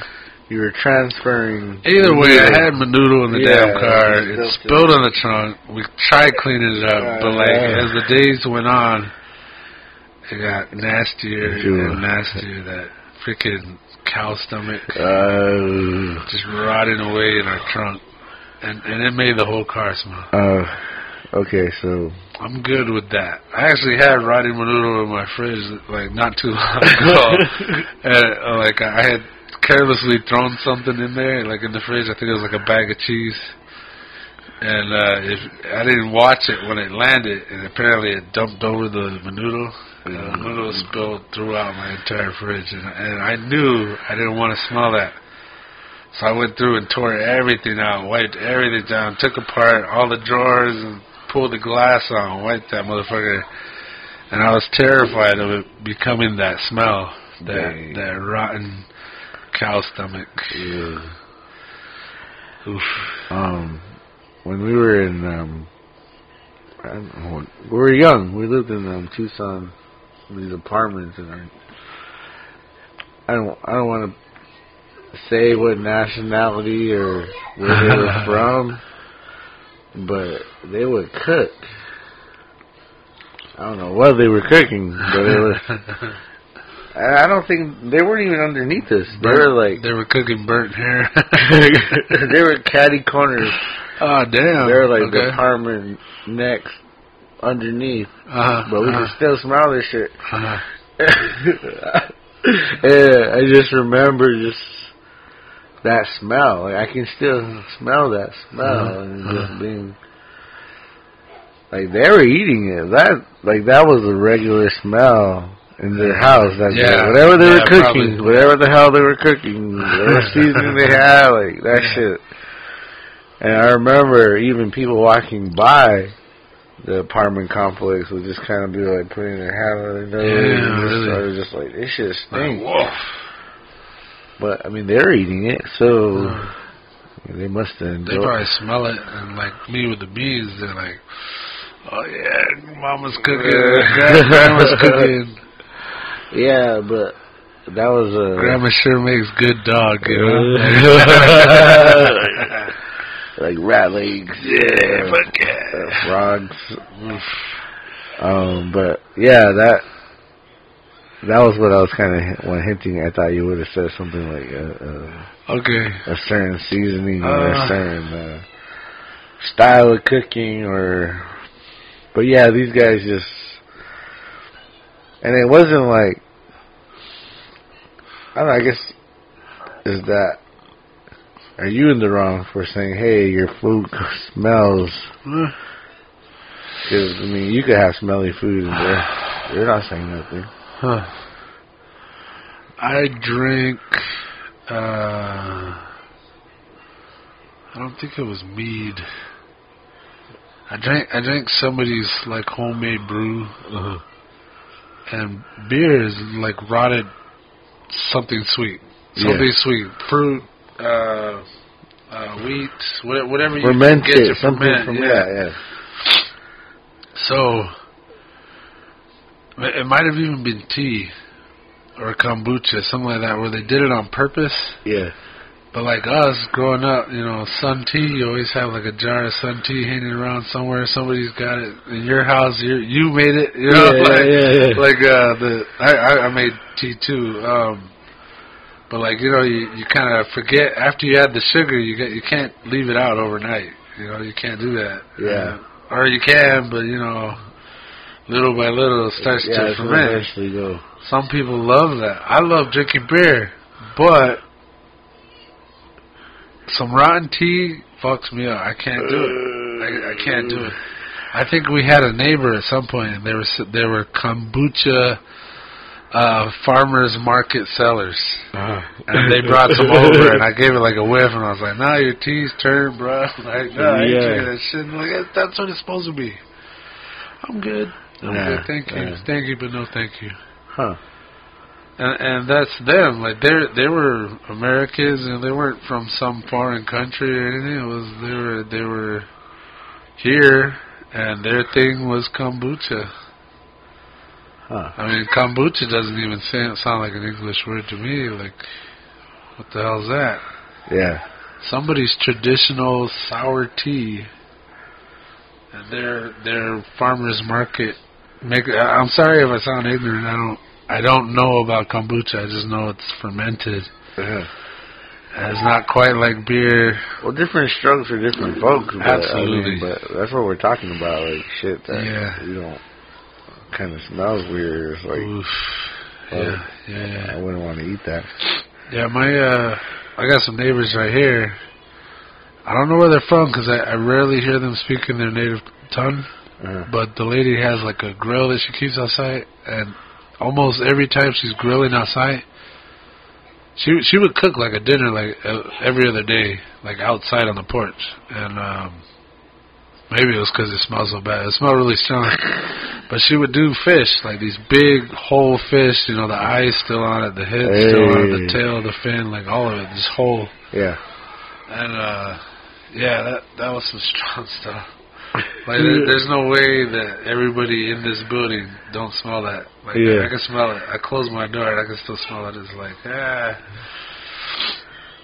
And but because I'm a cook now, I want to try it. Like oh, I'm, I'm gonna try it. Like, I, I, I'm thinking I might have to cook up some of my bread or something and bring it to them and like, hey, you know, what's up with the fish? Like, what's up? Make it with the fish. Something. I don't know. I, I thought about it. Like, hey neighbor, here's some bread. I got some extra. Yeah. And just see if one day they have some extra fish. They'll kick me some down. And and if it's as horrible as it kind of smelled, uh, maybe I'll never have it again. But I'm curious.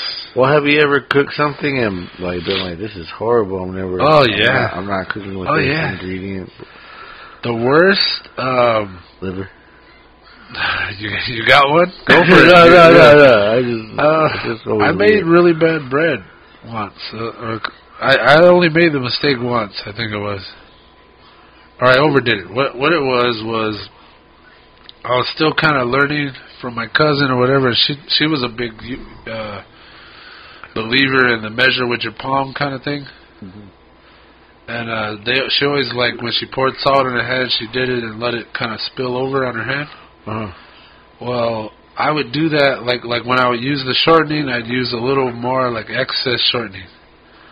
The, and um, so you know a little more water, maybe maybe a little bit more of this, a little bit more of that. It always seemed fine.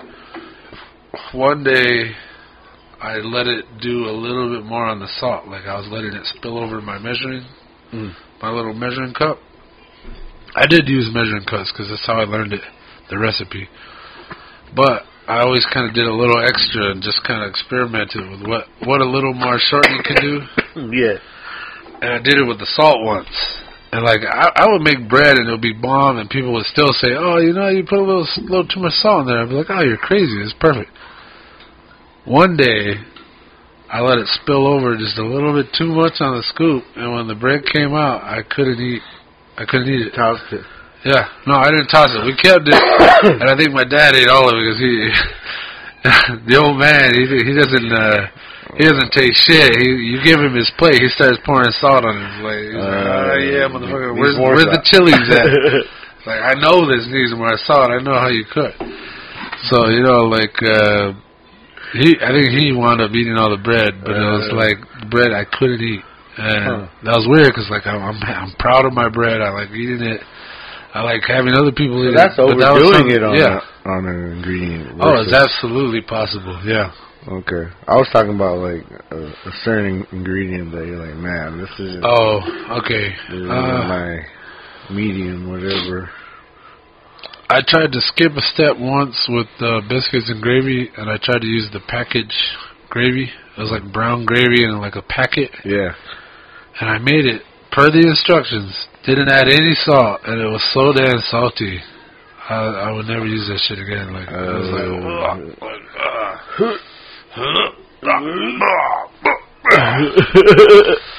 yeah. I, I'm trying to think of something else. You you said liver. You had to have had experience with that. Uh, no, I just, I, I mean, like, kind of similar to the um, squash and cheese. Like my grandma would make liver. Oh, onions. really? Not all the time. Like just every once, like just once in the blue moon, she would cook us some liver, Uh, and I just not liking the texture of it. yeah. But I've never, I never like, but I didn't. I wouldn't cook with it now. Huh. it's like, uh, Yeah. I my But- my my mom would love liver and onions. And I didn't I never liked it. But like what what I kind of wonder about too is like go back and taste it would it still be bad to you now? uh, I think it would take me back to the to that to that time. Yeah, I mean, like I said, we're we're picky. We're Uh. almost more picky when we're younger Uh, because I think of like kids not liking onions, uh, but then maybe them just not understanding what the onion brings to the plate. Uh-huh. Because they'll they'll eat onions not knowing, but you Yeah. tell them it's in it, and it's like, Nah, yeah, yeah. yeah, like they like it until they find out all there's onions in here. Can't eat it. yeah. So I I think there's a lot of that going on, Huh. but it was a weird texture, and it oh, was yeah, kind of like, what's what's happening? It's rough and it doesn't like chew the way like a good fatty meat Yeah, would yeah. chew. It chews totally different. Yeah, Yeah, and it had a different flavor too. it wasn't a steak. It, like a steak, Yeah, I know. like I would tear up a steak, you know. Yeah, but like with, with with the liver, it was just Huh. like working with it a little. Oof. But um, I I couldn't complain or kind of making me want to go out and just, Just go to like a decent place and have them make me some liver and just try it. I don't even know. I've never seen liver on the menu anywhere, I I neither have I. but maybe maybe I should look for some liver and give it a shot. Uh, Cook it the way I cook all my meat: salt, pepper, garlic. Maybe marinade. I don't know. But everything I cook salt, pepper, garlic when it comes to meat. Huh. I wonder, with that and maybe a little onions, could I make a decent liver, or would it be just as bad as I remember? See, so that's what I was going to ask you too. Is like when you're talking about the fish, like Huh? is the the chef in you Huh? Is it like, well, if you give it to me and I use it, cook it the way I'm gonna cook it, mm. I can make it taste better. I don't cook fish. That lady next door, she's probably been doing it since she was a kid, Uh-huh. or at least watching somebody do it since she was a kid. I bet between the two of us, she's gonna make a better fish. Which is really why I want to try it. It's like, man, I wonder, Oh. I wonder what they're eating over there. I want Okay. to try some. You know, she's probably got her own spices that I don't understand or know. That's why it's like assaulting on the senses. uh-huh. Uh, Huh. huh. Yeah, No, I was talking about like like someone makes something and it's not that great, but you Huh. can say, "Give me those same Dude. ingredients," and I'm gonna I'm gonna turn it into something. Okay. Okay. Uh, when I when I first met my homeboy, I was working at a hardware store, and he came in as a secondary labor group to help us rearrange the store, like we are redoing everything. Um, after uh, we kind of became friends quickly. Like he talked shit to an asshole in front of everybody. It was cool. I was like, hey, I like this guy uh we hunt we joke about the same type of shit, you know, just busting balls on the job. And then afterwards like uh, we just started joking like it was, it was cool. We were like instant friends. And uh one day uh I, I was going to breakfast with these two other dudes I was working with like we would go they they had like a tradition of going going to breakfast. Mhm. And then when I found out I was like, "Hey, let, me roll too. Like I'll buy. I'll buy. Take me with you." So we st- I started joining in with them. And then one day, it was towards the end of working with this crew. the- Like what the changes we were doing was almost done, and I invited my buddy over. Like, hey man, join us. Come uh, eat food with us. And the whole time he was just bitching, just bitching. Like, oh man, I asked for fucking, I asked for a medium. This is obviously a fucking well done. Like this. Oh man, they they put butter on the toast, but the toast is not fucking toasted. Oh, these fries, these fucking fries are soft and soggy. And he's just kind of playing with it. He's not eating them, and I'm like, motherfucker, eat your fucking sandwich. Like I was getting all pissed off at him. And now I work for him, and he's a chef, and apparently he was a chef that whole time. and um, it bothered the fuck out of him, and I didn't understand it. It pissed me the fuck off. Like, God damn it, just eat your fucking sandwich. Like, Yeah. somebody back there labored over that shit. You better eat it. That was my attitude at that time. Now, it's almost bad for my health. Almost,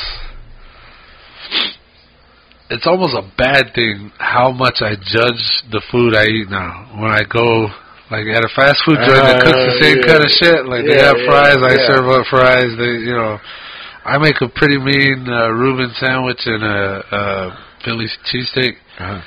and I get the, and I see I go to these places where they do the same thing, and I judge the fuck out of Tear it. up. I'm just saying that like, look at these fucking fries. Yeah. These guys, they, they have no sense of what they're doing back there. Like these guys are these guys are fucking clowns back there. Don't eat this food. Like same thing, same Yeah, thing. yeah. And uh, it's terrible because now, like some of the the regular foods that I could easily enjoy, it bothers me now. Like it, it it's a it's a curse Yeah. it, it, it's a blessing and it, like I feel like I've I've learned enough to be somewhat gifted at cooking but when I eat other people's food and they're doing it subpar and I know what they did to make it subpar I'm just like ah these motherfuckers. What are they doing? These ass clowns in the kitchen. Like god. And I'm doing exactly what my homo was doing that day. And I and I'm him now. I'm just him now. Like I cook I cook. I work in the kitchen. And I'm I'm, bas- I'm basically a glorified fast food cook, but we we have a kitchen behind us, like a, a real commercial kitchen that's supplying everything we're we're cooking. Uh, besides the fries, but you can fuck up fry. Apparently, you can fuck up fries too. You know, like if you're just a terrible cook, you can fuck some fries up. And uh, so yeah, it it's detrimental to my ability to eat fast food now Nice. because I just.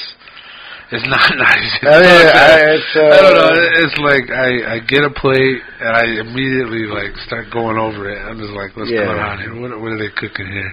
Yeah. Don't get me wrong. Like we got uh we got this other chef. She's an older lady, and uh you know, and young and old does not matter. If you're a good cook, you're a good cook. Uh-huh. Uh, there's a lady that cooks for us in our cafeteria, which must be a pretty hard job. You got all these cooks tasting your your cook food. But uh, that lady, that woman cooks with love. Mm. When when I see her back there by the grill, running the grill, the flat top, I order a freaking breakfast sandwich every single time because that woman can make a freaking breakfast sandwich. Uh, yeah. She doesn't hold back. She doesn't skimp. And when her, when you get the toast on her breads, they're crisp as fuck, and they crunch when you cut into it or bite into it. Good. Yeah. Well, I, I think that's part of the power is the Uh-huh. recognizing when it is good Oh yeah. versus Oh, when it when it's good, critiquing. I, I make sure to go and tell them, hey, Mm. that was a good sandwich. Yeah. Thank you, thank you for for hooking it up. And maybe they made it exactly the same way for everybody, but I feel a little special. Like they made me, Yeah. they made me a good good ass sandwich. We talked about that with the pop over, the the pop over episode Uh huh. or the bread episode. The when it's an art Uh-huh. versus when you need to be fed. Uh-huh. It's sort of this, Yeah. this, you don't really know where to draw the line as far as you know going for the the chase versus you know just being fed to Yeah. live on you know Yeah. survival so there's kind of like this dual goal and when it is about the taste and that experience you know there's Yeah.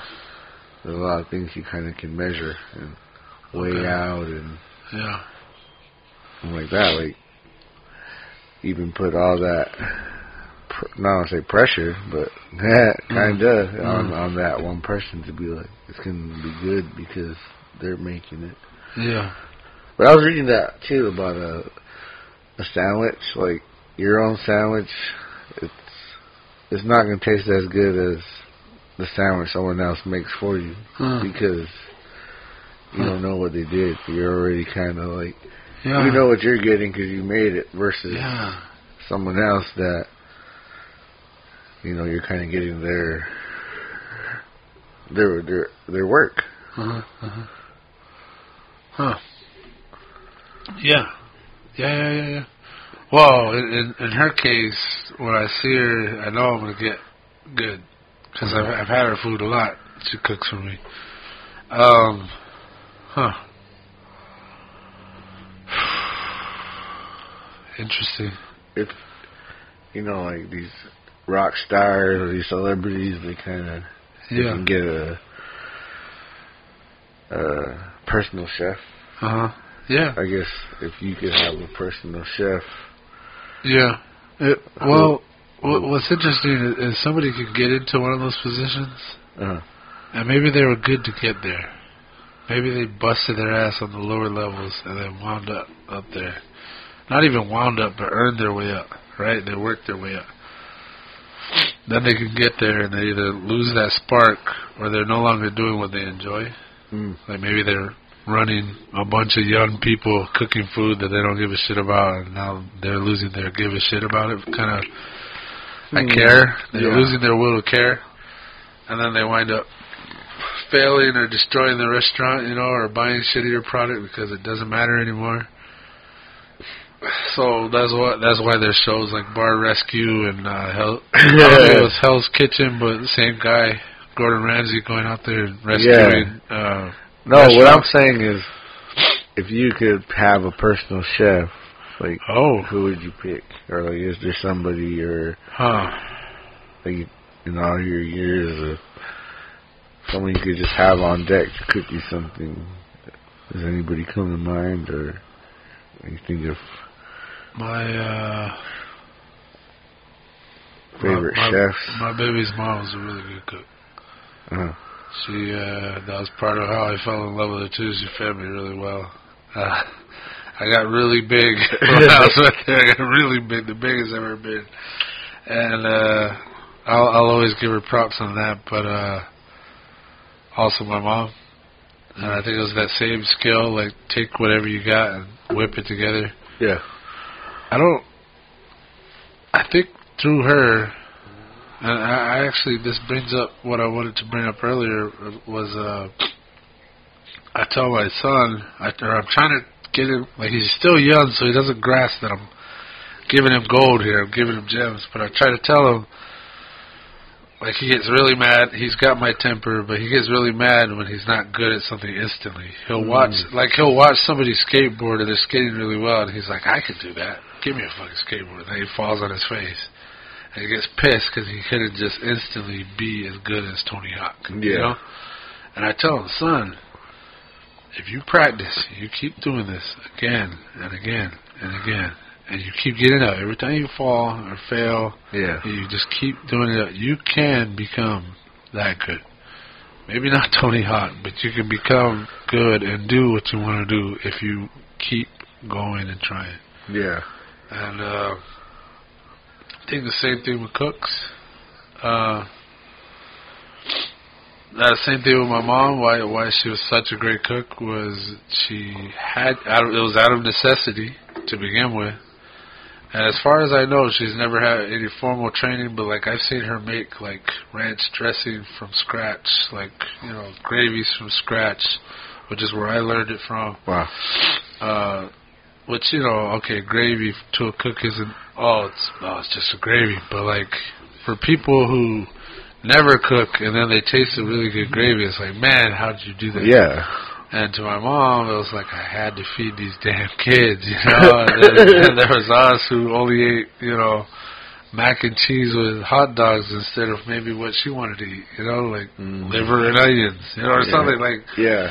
which was good to her, you know. So Uh, that is sort of a challenge, like the yeah, the taste buds of everybody versus just what I want. yeah.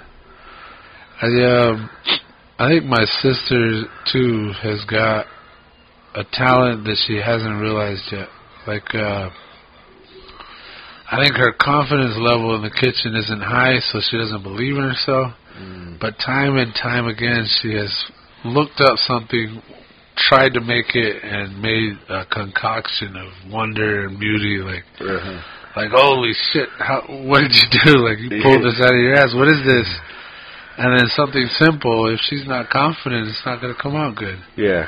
But she tries, and she studies. She's a very hard studier now. Sorry, Jen, if you're listening. Probably not. But uh, anyway, um, uh,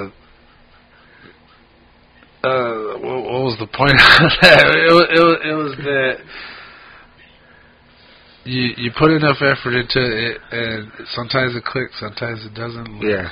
Uh, yeah, she she's uh like an unpolished jet, diamond in the rough. Mm. She what's I think what's what's cool is uh she's a very different person from who she was when she was younger. Totally different person. I think having kids kind of does that. Getting responsibility or jobs or going to college, you you change. Or just getting older, experience changes you, Mhm. and uh, through that, her cooking has become incredible and great. Uh, I like eating at her house too. She's another good cook. Um, and you know, you know her from the cafeteria when we were in high school. But Dorothy Jim, Uh-huh. I remember she was a good cook. She made really good good food. Wow. She was from my village, where, where at least where I'm from now, Yeah. Coalfields. Uh, shout out to Coalfields and yeah. after Sky, the South Coleman. Um, yeah, another really good cook. And I think she had a lot of big family too. Uh, so yeah, like, necessity versus just raw talent. You Yeah. know, I think I think somebody can come out of anywhere. Kind of like the whole point of Ratatouille was, uh, you know, good cooking can come from anywhere. Uh, And I, I can really appreciate that now. Now that I'm working on a flat top or frying food or freaking, you know, slapping ingredients together in a box so that it halfway looks decent. yeah. You know, uh, it's a it's a weird transition to go from being un- blissfully unaware Uh-huh. that there's some janky shit going on in the kitchen to now where it's like I'm almost intolerant of poor judgment cooks or cooks that just just half-ass it. Mm. It's sad. It's sad to see because I've seen it like firsthand, standing right next to them while they're cooking or ate their food, and you're like, ah, like the potential here. There's flavor, but it's not crisp or it's whatever. Yeah. There's maybe I'm a snob now. I don't know. I've become the snob that I despise. Whatever it is, there's. I pay attention now when I get food and look. I open the box and I'm like, what? Are, what are they serving me here? I, don't, I don't think that was your point. No, I mean no, but I'm it's, it's a. I wouldn't say a snob, but it's like your your responsibility to recognize all these things as a chef versus somebody that's just showing up to the table. Like I'm Yeah. carrying. There's sort of like a one-sidedness when you're when you're not cooking. Because all you can do is complain or you either eat. like Yeah.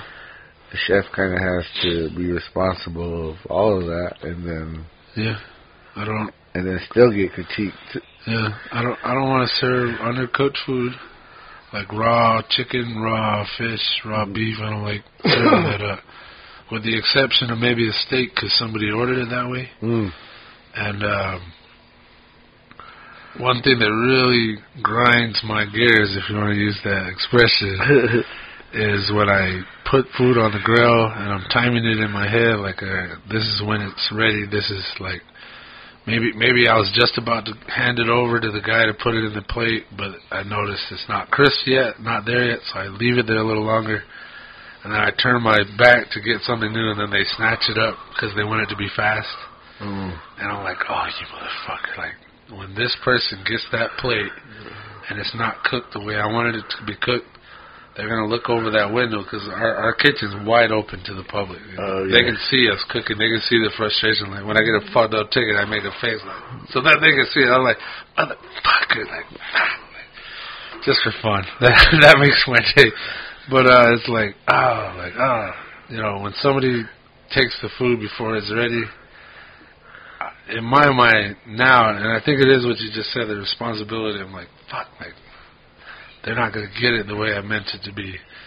And now they're going to go out there and eat it, and hopefully they still like it, but it's not up to standard. Yeah, there's a chance they might, they might not like it. Yeah.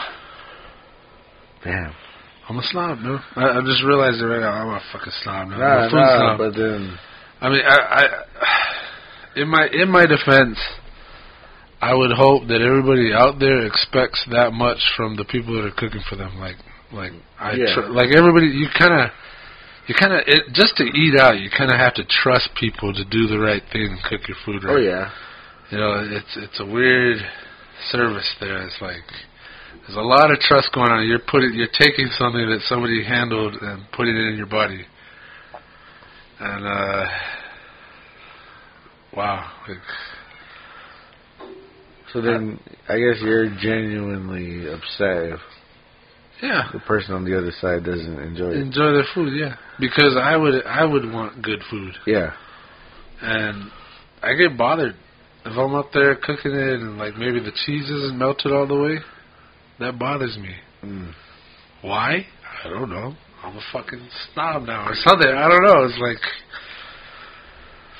I see cooks that that see uh, a thing without melted cheese, like let's say a cheesesteak, and you slap the cheese on top of it. They take it and throw it in the plate, and the cheese isn't melted. They're like, "Oh, it'll it'll melt in the box. Don't worry about it." Yeah, yeah. You know, fuck it. Fuck it. Next order. You know? Oh, we're busy. This this is the time to speed it up and just throw food. Get it out of here. Get it out of here. Uh you ever use one of those me. flame things? I got one right here. What do you use it for? It's on the table. Uh I use it to smoke, but uh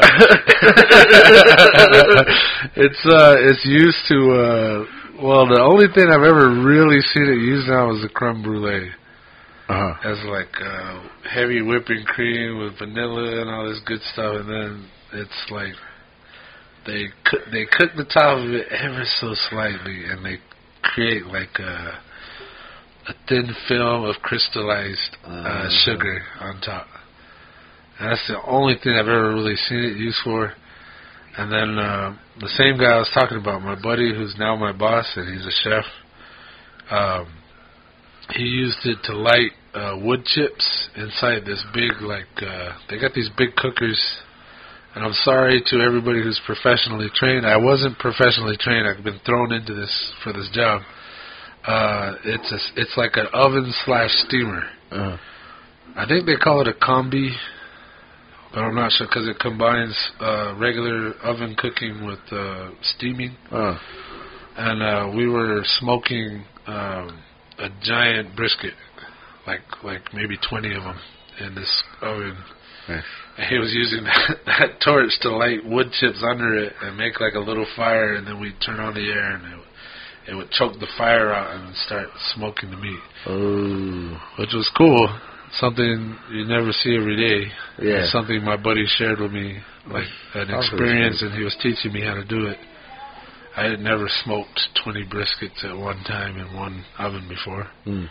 And at the same time, I rubbed it down with a completely made from scratch, like a chote pepper with, let's say, regular pepper with salt and garlic and all that. Like, rubbed it down top and bottom, smoked it, and then cooked it for eight hours. Nice. Was, uh, was an ex- incredible experience. But you know, they they taught more people to do it, so I never had to do it again, which kind of sucks. But it was like, yeah, I I know how to do that now. Huh. Yeah, I, I totally forgot the other question I was going to ask about the. Well, you were talking about what was it that you could? A combi, like it combines. Oh no! Oh, so now with hit is the air fryer. What are your Nice. thoughts on that? Great transition. You, I can always depend on you to do that. Um, air frying technology. I don't even I don't even know if it's new. Is it really? I don't know if it's new, but it's more hit. Yeah. I mean, uh, someone was talking about it on, like, even on the the groceries that we buy in the store. Yeah. There's an air fryer um, temperatures now for. Oh yeah, yeah, yeah. I've noticed that. I like that. So I it's mean, pretty cool. It's an It- it's, a more common. newer thing, Yeah. opposed to the microwave or the Yeah. oven. So, what are your? Do So- you have any beef with it, or Okay. All are you looking at buying one? I own two of them. Nice. Uh, I also have a microwave. I also have a toaster oven under the sink here. All right. So I, I'm pretty sure NuWave, which makes all kinds of really cool cooking things now, uh, they had a air fryer before. like before it was popular, they had it. Uh-huh. And it was like they call it NuWave. So new technology is using, I guess, temperature waves, thermal heat, and convection. You know, whatever. I don't know. Don't. It's convection air with super hot air, and then superheated air, and then you got like the Have you have you oil particles that fry it. have you ate anything that was air fried? Oh yeah, yeah, tons. Like I said, I, Oh, okay. I own a bunch. I oh I thought Well- you were saying that sarcastically. No, no. You really got one. Oh yeah, yeah. Okay. Um, you know what did it for me? I was chilling with my boy Joel, and we were getting faded. We were getting all brewed out in the in the living room, and then like this girl, she was maybe twelve, ten.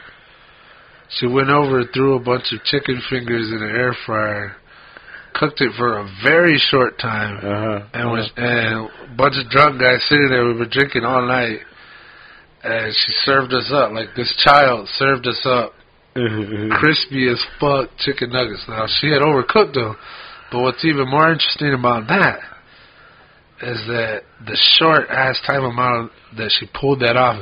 So it would have even taken even less time to cook it just right versus where it was. It was like just a little overcooked. But when you're brewed, that that doesn't mean anything. It's like give me the chicken nuggets. Like yeah, yeah. And it was crispy and crunchy. Yeah. And I was like, and I had already seen new uh, air fryers. You know, they've been advertising. I've been seeing it on the, you know, the home shopping network with my mom. All that. Yeah, it's all over the place. You see all these fryers, and it's like, oh, there might be something to this. And then, what actually made me, you know, buy into the technology, what made me go cross over into the dark side, was uh, that experience Nice. a little child. In my mind, she's a child. She probably, oh, I'm an adult now. I'm 12. But well, anyway, that's the other side of the story. uh, a child served up a bunch of dolls, a good full size serving in minutes, Yeah. and it was cooked. I want for my drunken self, it was to, cooked to perfection. I was like, wow. Yeah. And uh, that that there was something to that. I was like, wow, safe enough. Like you know, you know, you, you don't want a kid handling the stovetop or pulling something out of the oven. Oh yeah. It's dangerous. You're gonna get burned. I've been burned I, at my work now. I'm burned all the freaking time. But and you don't want a kid to do that. But for a child to cook serve us up a, a big thing of fry, I think it was like fries and chicken nuggets. Quickly, the shortest time I've ever seen it done, and it was crispy. Uh huh. And she didn't have any deep frying oil. Yeah. I was like, holy shit, there's there's something to this. So I had I got one like that Christmas or something. Damn. I I I thought you would have been anti air fryer, but you're not. Uh, well, funny thing is, with the ones that I bought, I've burned the shit out of stuff. Like I, I, I haven't figured it out yet. Yeah, yeah, yeah. if So don't the, the measurements is is another side of it. Uh-huh. Because when you're talking about it being overcooked, I think the first time I had, it might have been either that fish sticks or fish fillets or Uh. chicken nuggets, yeah. something in the air fryer, and it was just. I th- I thought it was just, oh, this is how it tastes with it, and it Uh-huh. might have a little been, but it was also Yeah. kind of, it might have been overcooked. But um, yeah, I just even with my experience with the air fryer, was, I mean, you're kind of playing with the measurements. Uh, But yeah, I've I've done um, some shrimp, some popcorn shrimp, uh, and uh, uh, a few other types of shrimp that are already frozen. You just, yeah. yeah. I think it's the swans. Uh, uh, yeah. Uh, yeah. yeah. Yeah, they're shrimp. But yeah, I I was pretty impressed with when I first just kind of like, oh wow, we're in the future. yeah, yeah. But uh, I didn't I didn't know how anyone else felt about it. Yeah. Uh, yeah, my my opinion is there's something to it. It changes the time, so you gotta master that. I think you gotta burn some shit before you get good at it. But like once you figure out, again, like I told my son, practice, practice, practice, do it again and again. Might cost you some money to burn a bunch of food, but like if you figure it out, it take it goes a lot faster than you could do in the oven by itself. Mm-hmm. And the versus versus uh, microwave, I noticed the other night uh, we got. Uh, I was eating with my homegirl, and she was she ordered us uh, uh, chili. It was like chicken tenders, but they were dipped in like buffalo sauce. Uh-huh. But by the time we got here to eat them, it was like uh, it was uh, Soggy. no, it was cold. Oh, but there was still crunchiness to it as I was eating it. So I was eating it cold. I was like, "Fuck it, this is good. It's delicious." But she's like, "Oh, you want to heat it up?" And I was like, "No, being a cook, yeah, you shouldn't. That danger zone is real. Like I, I push that line all the all the time with myself. Like I, like I'll I'll eat something that you know I fucked up and sat it out last night. I'll eat it. But that danger zone is real. Once you get a certain temperature, bacteria just it explodes. It, it, it, it's go time. They start making babies and make all kinds. Anyway, that's not the point. The point is, we had cold, crisp chicken. It, it was soaked in in barbecue sauce, or it was uh, it was like buffalo sauce, and uh, but it was still crispy. yeah. The way a microwave works is it, it gets the the water particles in your food to start vibrating really hard, and they start creating heat, and then it cooks it inside out, but it uses water and steam. And when we try, and I agreed, okay, like maybe we shouldn't be eating this cold ass chicken, we should probably heat it up and eat at least closer to proper temperature where it's safe to eat. Especially chicken when you're messing with chicken. I just want to throw that out Oh, for yeah. everybody. Watch your chicken. Um, we microwaved it, and when we brought it out, all the crunch was gone. It had been steamed soft. Mm. And I was eating it, and I was like, ah, should have left it cold because it was still crunchy. Which blew my mind. It was like, wow, immediately you can tell that there is some faults with the microwave.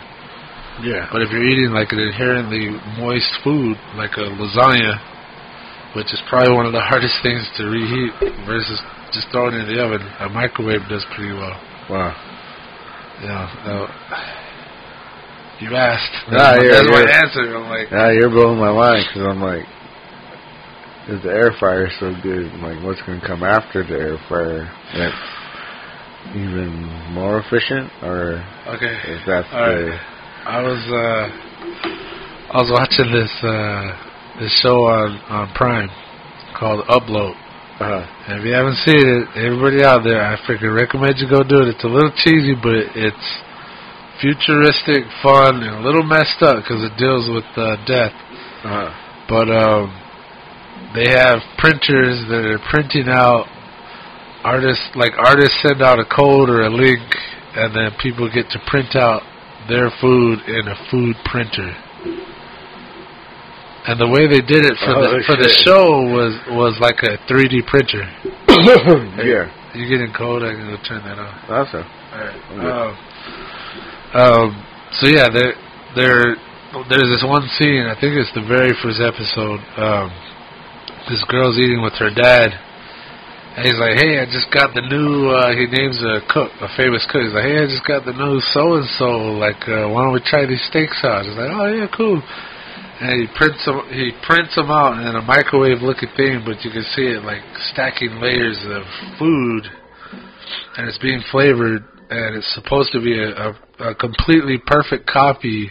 So if you can imagine, you're watching Gordon Ramsay cook, you know, Yeah. a bomb ass, you know, whatever, a, a lamb shank or a freaking fillet, filet mignon. He probably doesn't do that. But anyway, imagine seeing him cook something so perfect, and then you're going, oh man, like that food looks so good, I want to eat it. And then think, imagine one day at the end of the show they put up a link or something, Oh the, the information, the, the code that you enter into your food printer, and then you can have the exact same steak that they just cooked. Yeah. I like I like the sound of that. I like the look of it. Like it, it was. It's a it's a simple prime show, but they touched on a lot of these futuristic ideas. And Yeah. again, like all futuristic shows, they didn't give you like, oh, this is thousand years in the future. They're like, oh, this is you know twenty thirty two, something like that, like something close to where we are now. I doubt we're gonna be there, but it's like it's kind of exciting. It's interesting. I, I love a good sci uh, sci-fi show where they think about the little details like that. And what's funny at the end of that scene, uh, they take a bite and he looks at his daughter. He's like, "What do you think?" And she's like, "Oh, I, think the fat the fat cartridge is low on your your printer, your food printer." And they both kind of spit it out. They're like, "Pah." So it didn't have enough fat in the printer. Like, as you could think of, like printing out something black and white, Yeah, and there's yeah. not enough black ink. It's gonna come out all faded. yeah. So I thought that was really an interesting concept, and if you can imagine, you know, you see it one day on a TV show, looks fantastic. You're you're watching, you know, Chopped or uh, Master Chef or whatever it is, and then you get yeah. to taste what they're competing they're with. tasting, yeah. You get to, you know, maybe even do it right along with the show, like the judges are tasting it and you're tasting it. How Uh, cool would that be? And, and all you have to do is keep your cartridges full, print out the same food. And, Uh. aga- and again, it might be possible because of how simple our tons are. Huh. If they can master the flavors and then maybe use, again, I don't know how the ton, you know, the combination of ton and nose with the sensors in your nose create flavor. Yeah. And, you know, it's probably not as far fetched as it seems. Which Uh, I love about that show. Oh, you got reminded me of this one time. Um, I think it was at Denny's. And you know how they got the. This was years, years ago. I, I think, or I can't even remember who I was with, but there's a. You know, they got the Denny's Kids Meal, and there's usually like uh, you're able to do like uh, Mickey Mouse pancake, or you're able to make a character out of the out of the fruit and the and the batter of the pancake, like make Oh, yeah, okay, yeah. and they were selling like a, I think it was a Mickey Mouse, and uh you know it had the blueberries and the strawberries and the bananas for the eyes, and Yeah, yeah. uh, one of the one of the kids had ordered ordered that, Uh-huh.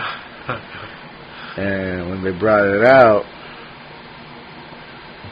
I I don't I I, I think about this moment because I didn't know if they were disappointed or if they were like, hey hey hey hey, is this what is set on the menu? So they they got the menu, they opened it up, and they are comparing how Okay. well okay. it looked like the Okay. picture. Yeah. And it just Yeah, it. I, it cracked me up because it was almost like, is this what I ordered, or is this kind of is this is this what I is this what you're bringing me? Is this what I saw on, Uh, on, on uh, the image? Yeah. And it just it just reminded me what you were talking about. Well, check check this out. I got a tidbit for you here. It goes it goes again to my buddy at work. I, I, I work too much. This is this is all I talk about now. Um, It's a food podcast now. yeah, yeah. I was just thinking like, damn, like start, this was supposed to be our recap episode, and now it's like a cooking cooking talk here. Um, uh, so my boss, he's he's he, my boss buddy. He he's got a position called uh, a room chef. Now, what these guys do is they they're the top chef in the room, but, but basically they're they're the management of each menu. And a room chef is supposed to be able to go from each menu. So there's about three where I work, and they got they can go from this one, this one, or that one. It should be able to handle the kitchen and make sure everything's running Mm. Yeah. smoothly. Well, because I know him and we talk, I get to hear some of the stuff he has to do as part of his job. And uh, what I, what I learned was uh, every month, like part of his homework, like who knew we would ever choose to do homework? You know, let me let me get a job that where I got to do homework. you know? Yeah, oh, yeah, real, that's right. what I want. Uh, but anyway, his his thing every month was to present a menu item, brand new, fresh, using the stuff we already have, and he has to present it to the head chef, the executive chef, or whatever his title. And I think it's like super executive chef, whatever it is. He's the top guy. He's he's actually a known guy around here, maybe even internationally. And um, they every month he had to present a special. So we we have a monthly special where I work. And the funny thing is, uh, when he presented it, he had to he had to prepare all the ingredients, uh, give a picture of the finished product, or maybe not even that. He'd had he'd had to cook it up and show it. Uh-huh. But then what he'd also do is create a menu based off of what he produced with instructions on how to make it, and then hand it over to the executive chef and say, "This is what it is. This is how you make it." And then the executive chef would prepare it and then make it as good looking as he can. And then they one day they would have like a professional photographer come and they'd take a picture of it, and then that would go on the menu. So whatever the executive chef produced, or maybe our room chef produced, that would be the photo. That will be what we're shooting for Mm. for the monthly special. So when you're seeing they pulled out the menu and like this shit isn't this way, like I'm sure there are some people out there when they get their food, they're like, "What the fuck is this? Like, what is this shit?" But like, it, where I work on the wall, the monthly special is photographed in there, and it's like, so when like, I go to work on Sun. Well, I guess it doesn't matter, but I'll come in sometimes, and I'll be back from my weekend or whatever, Mhm. and it'll be between the months. So the next monthly special will kick in while I was gone, and I'll come in, and then they're like, "Hey, here's the special." And I'm like, "Oh shit! Like what? What is? What goes on it? Well, how do you do it? Show me." Like, the big boss is supposed to come in and show all of us, but sometimes they do that, and I'm not there, you know. So I come in and like, "Hey, show me, please show me." So they'll make it, and I'll sit there and watch, and then I'll do it a couple times, probably jack it up, and then the way I cook is I, I like to see how it's done, and then I try to improve it with my kind of like, all right, I cook the broccoli a little more, or, or like I'll pile it in a Uh-huh. different way so that it doesn't get all messy. Like I try to improve it, and uh, like I said, the the goal is always to sell. If somebody orders this item from one plate to the next, it better look damn close to that photo. Yeah. And uh I don't know, I just thought that was a funny tidbit that, that uh, what you're talking about is does it look like the photo? yeah. And uh the cool thing about where I work is they do all that in house. It's not like some company far away and they're feeding their franchises, you know, this is what you're cooking and it better look like this. For us it's like they use the the same ingredients we have in house to produce something hopefully new and Yeah. exciting or, or at least that looks good enough in the photo that people want to eat it. Mm. I'll tell you a few of the specials we had. Um, it's usually a burger, but it can be a sandwich. Uh, the the ones I remember, uh, one was a uh, Philly burger, so it was a regular burger, but it had like the workings of a Philly steak stacked on top of it. Yeah. Uh, another one was um, a recent one that I didn't enjoy making. Like it, it was, it looked like a good idea. It sounded good. It sounded like it would taste good, but preparing it in our kitchen was difficult. So it was a uh, um, sweet and sour pork. So it was a bed of rice, uh, deep fried pork with bread on it, and then it would be steamed uh, broccoli, and then three like spring rolls. Mm-hmm. So that's deep fried. The the spring rolls are deep fried. The pork's deep fried. So one station would handle that. Somebody else would run over and get you know steam. They would scoop the rice, steam the broccoli, and then pour sauce on all of it and mix it together. And then you slap three spring rolls in it. In our kitchen, fast food, burgers, hot dogs, Philly steaks, Reubens, that was very difficult to pull off. Uh-huh. And when you get like six or seven of them in a row, and you're doing all these different little ingredients that don't actually are usually not in our kitchen, Yeah. it was very difficult. Uh, I'm actually happy it's over. now we're on to the next one. Um, you you reminded me of. Uh, are you a fan of uh, Chipotle? That's not a trick question. right? Yeah. oh, Oh, they you can tell their ingredients are fresh, and I appreciate that. But I was, the last time I went, it was before I became this cook that I am now, or, or I- before I got the title. Let's say that because I've been cooking all my life. Um, my impression was this is not Mexican food. Even though you know they're oh, Chipotle, you know yeah, yeah. this is not Mexican food. They call it authentic Mexican food, and I, I'm thinking this isn't Mexican food. And the burrito was wrapped so big and tight because I wanted all these toppings that it was messy, like falling all over the place. It made a mess of me. So my first impression was it, it wasn't Mexican food. It was a little messy, but it was tasty. Mm. But I stopped eating there. Okay. Well, I yeah, yeah, same yeah. So, anyway, you know, when Chipotle first came out, um, there was a a spot. I think it was in even um, maybe New York, somewhere on the east side. Uh, There was a Chipotle restaurant that. Uh, like, like the Chipotle or what? yeah, yeah, it was it was a franchise, but one the Oh, okay. the crew or the staff at that particular restaurant, you know, like what you're saying, what ingredients do I have? Uh, And because you know, with Chipotle, it's a franchise, so the menu is set. It's not like uh, uh, yeah, you can just come in and change it like a mom and pop shop, you know. yeah. So what happened at this particular restaurant was some person they had made a new item Uh-huh, uh-huh. and it was using what they had They already had.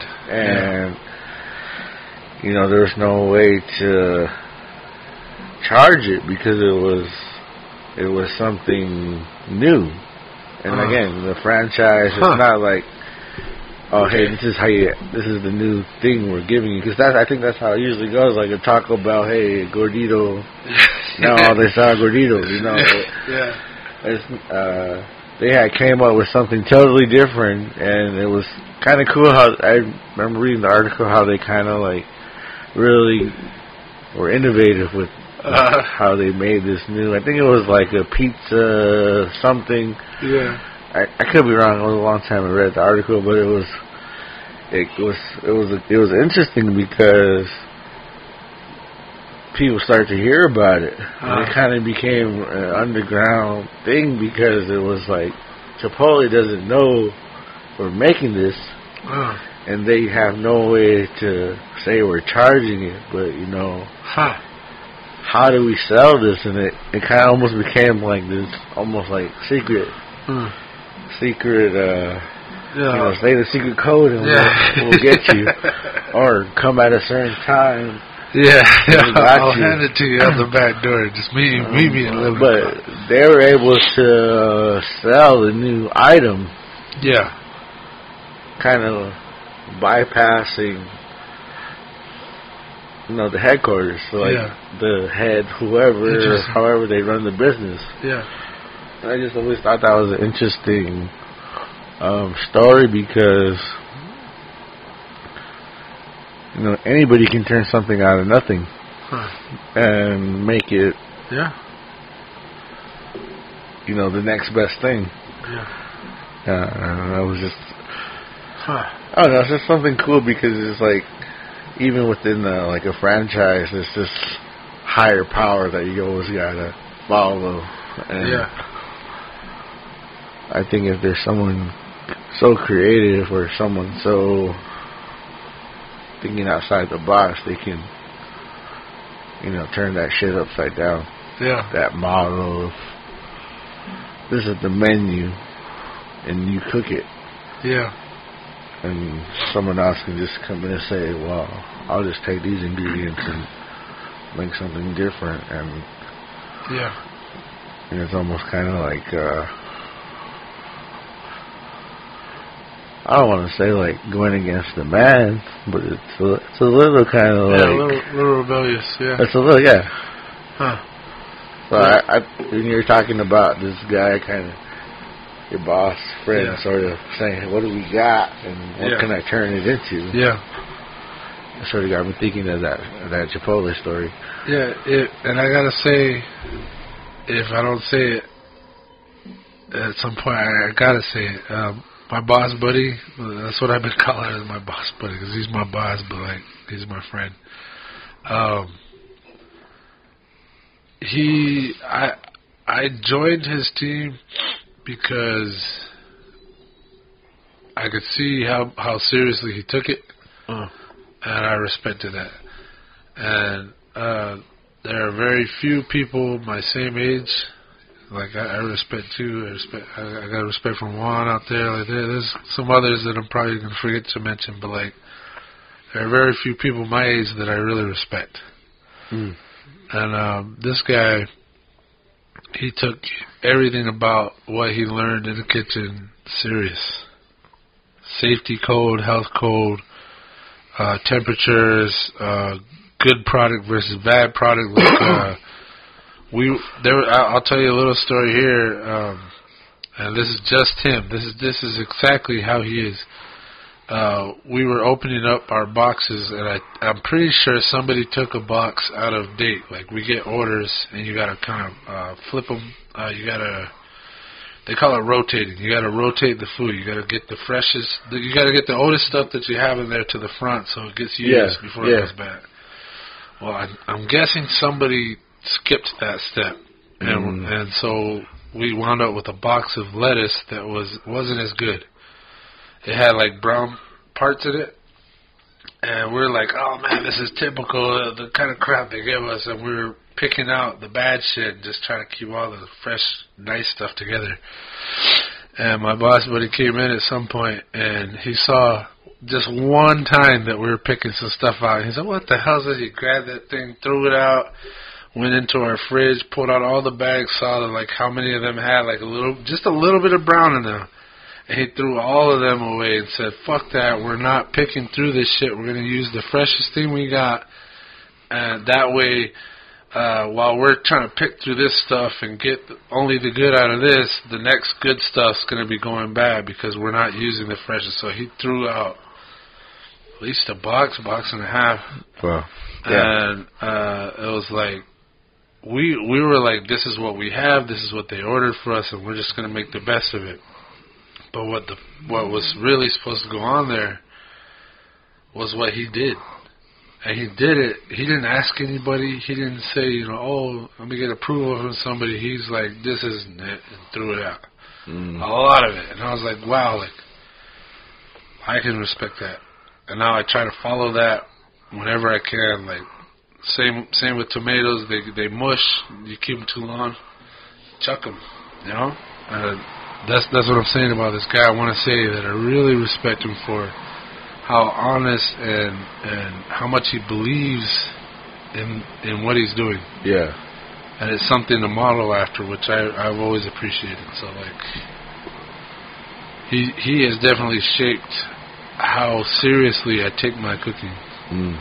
Which is probably why I judge my food when I get it. Like Yeah. him, he rubbed off on me somehow. I didn't know. I don't know when it happened. But now when I get a box of food, I'm like, these motherfuckers right here. Like, look at these ass clowns in that kitchen. You know, we're done. You know, eat the food, eat the damn food. But it's Yeah. like these motherfuckers. I went to a, uh, I went to like a bar and grill, and uh, it, it's one of the items we sell is onion rings, and I always overserve them. Like I always did, I always have since the day I got there. I served put too much in there.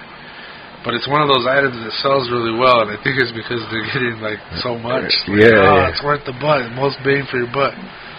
Um, I never thought anything about it, and then I went to this bar and grill, and I ordered a sandwich that I always liked, which is a Reuben, and I ordered it with onion rings.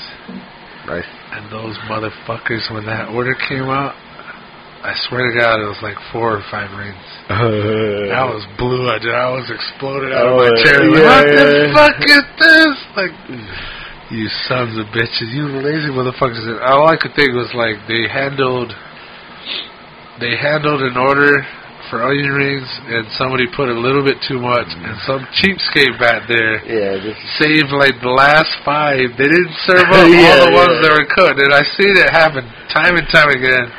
Somebody goes, "Oh, this is too many onion rings," and then they leave like three or four in the basket. And I know some bastard back there served up me those four already cooked onion rings. I was so pissed. I want to send it back, but then that's that other golden rule: you don't fuck with people who handle your food. Like, yeah, I don't send it back. I'm like, okay, I'm gonna eat my five rings, but fuck you guys. yeah. I think anybody would be uh, yeah, a little, little bit upset. Four arguments. Four dude. I, I was like, what is this? What is this? yeah, yeah. Can you believe these motherfuckers? And I was like, oh, This motherfucker. this motherfucker right here. Ass clowns you got working here. Yeah. I, I, I don't know how many times I see that. I get mad and I tell my coworkers like, "That's just hateful, man. It's hateful." Like, yeah. I'll see them like, I'll, I'll give, I'll give them the serving. Like, there it is. There's the onion rings for this, and it's either a big order or like a side one for your burger or something. And they'll they'll see it and they'll take what they think is right and leave like three or four. And I'm just like, why do you Oh. do that? Just give them all the damn rings. Like they're cooked, they're warm, they're hot, they're fresh. Give them to them. Yeah. Don't don't do that. Don't be a cheapskate. Like, don't do that.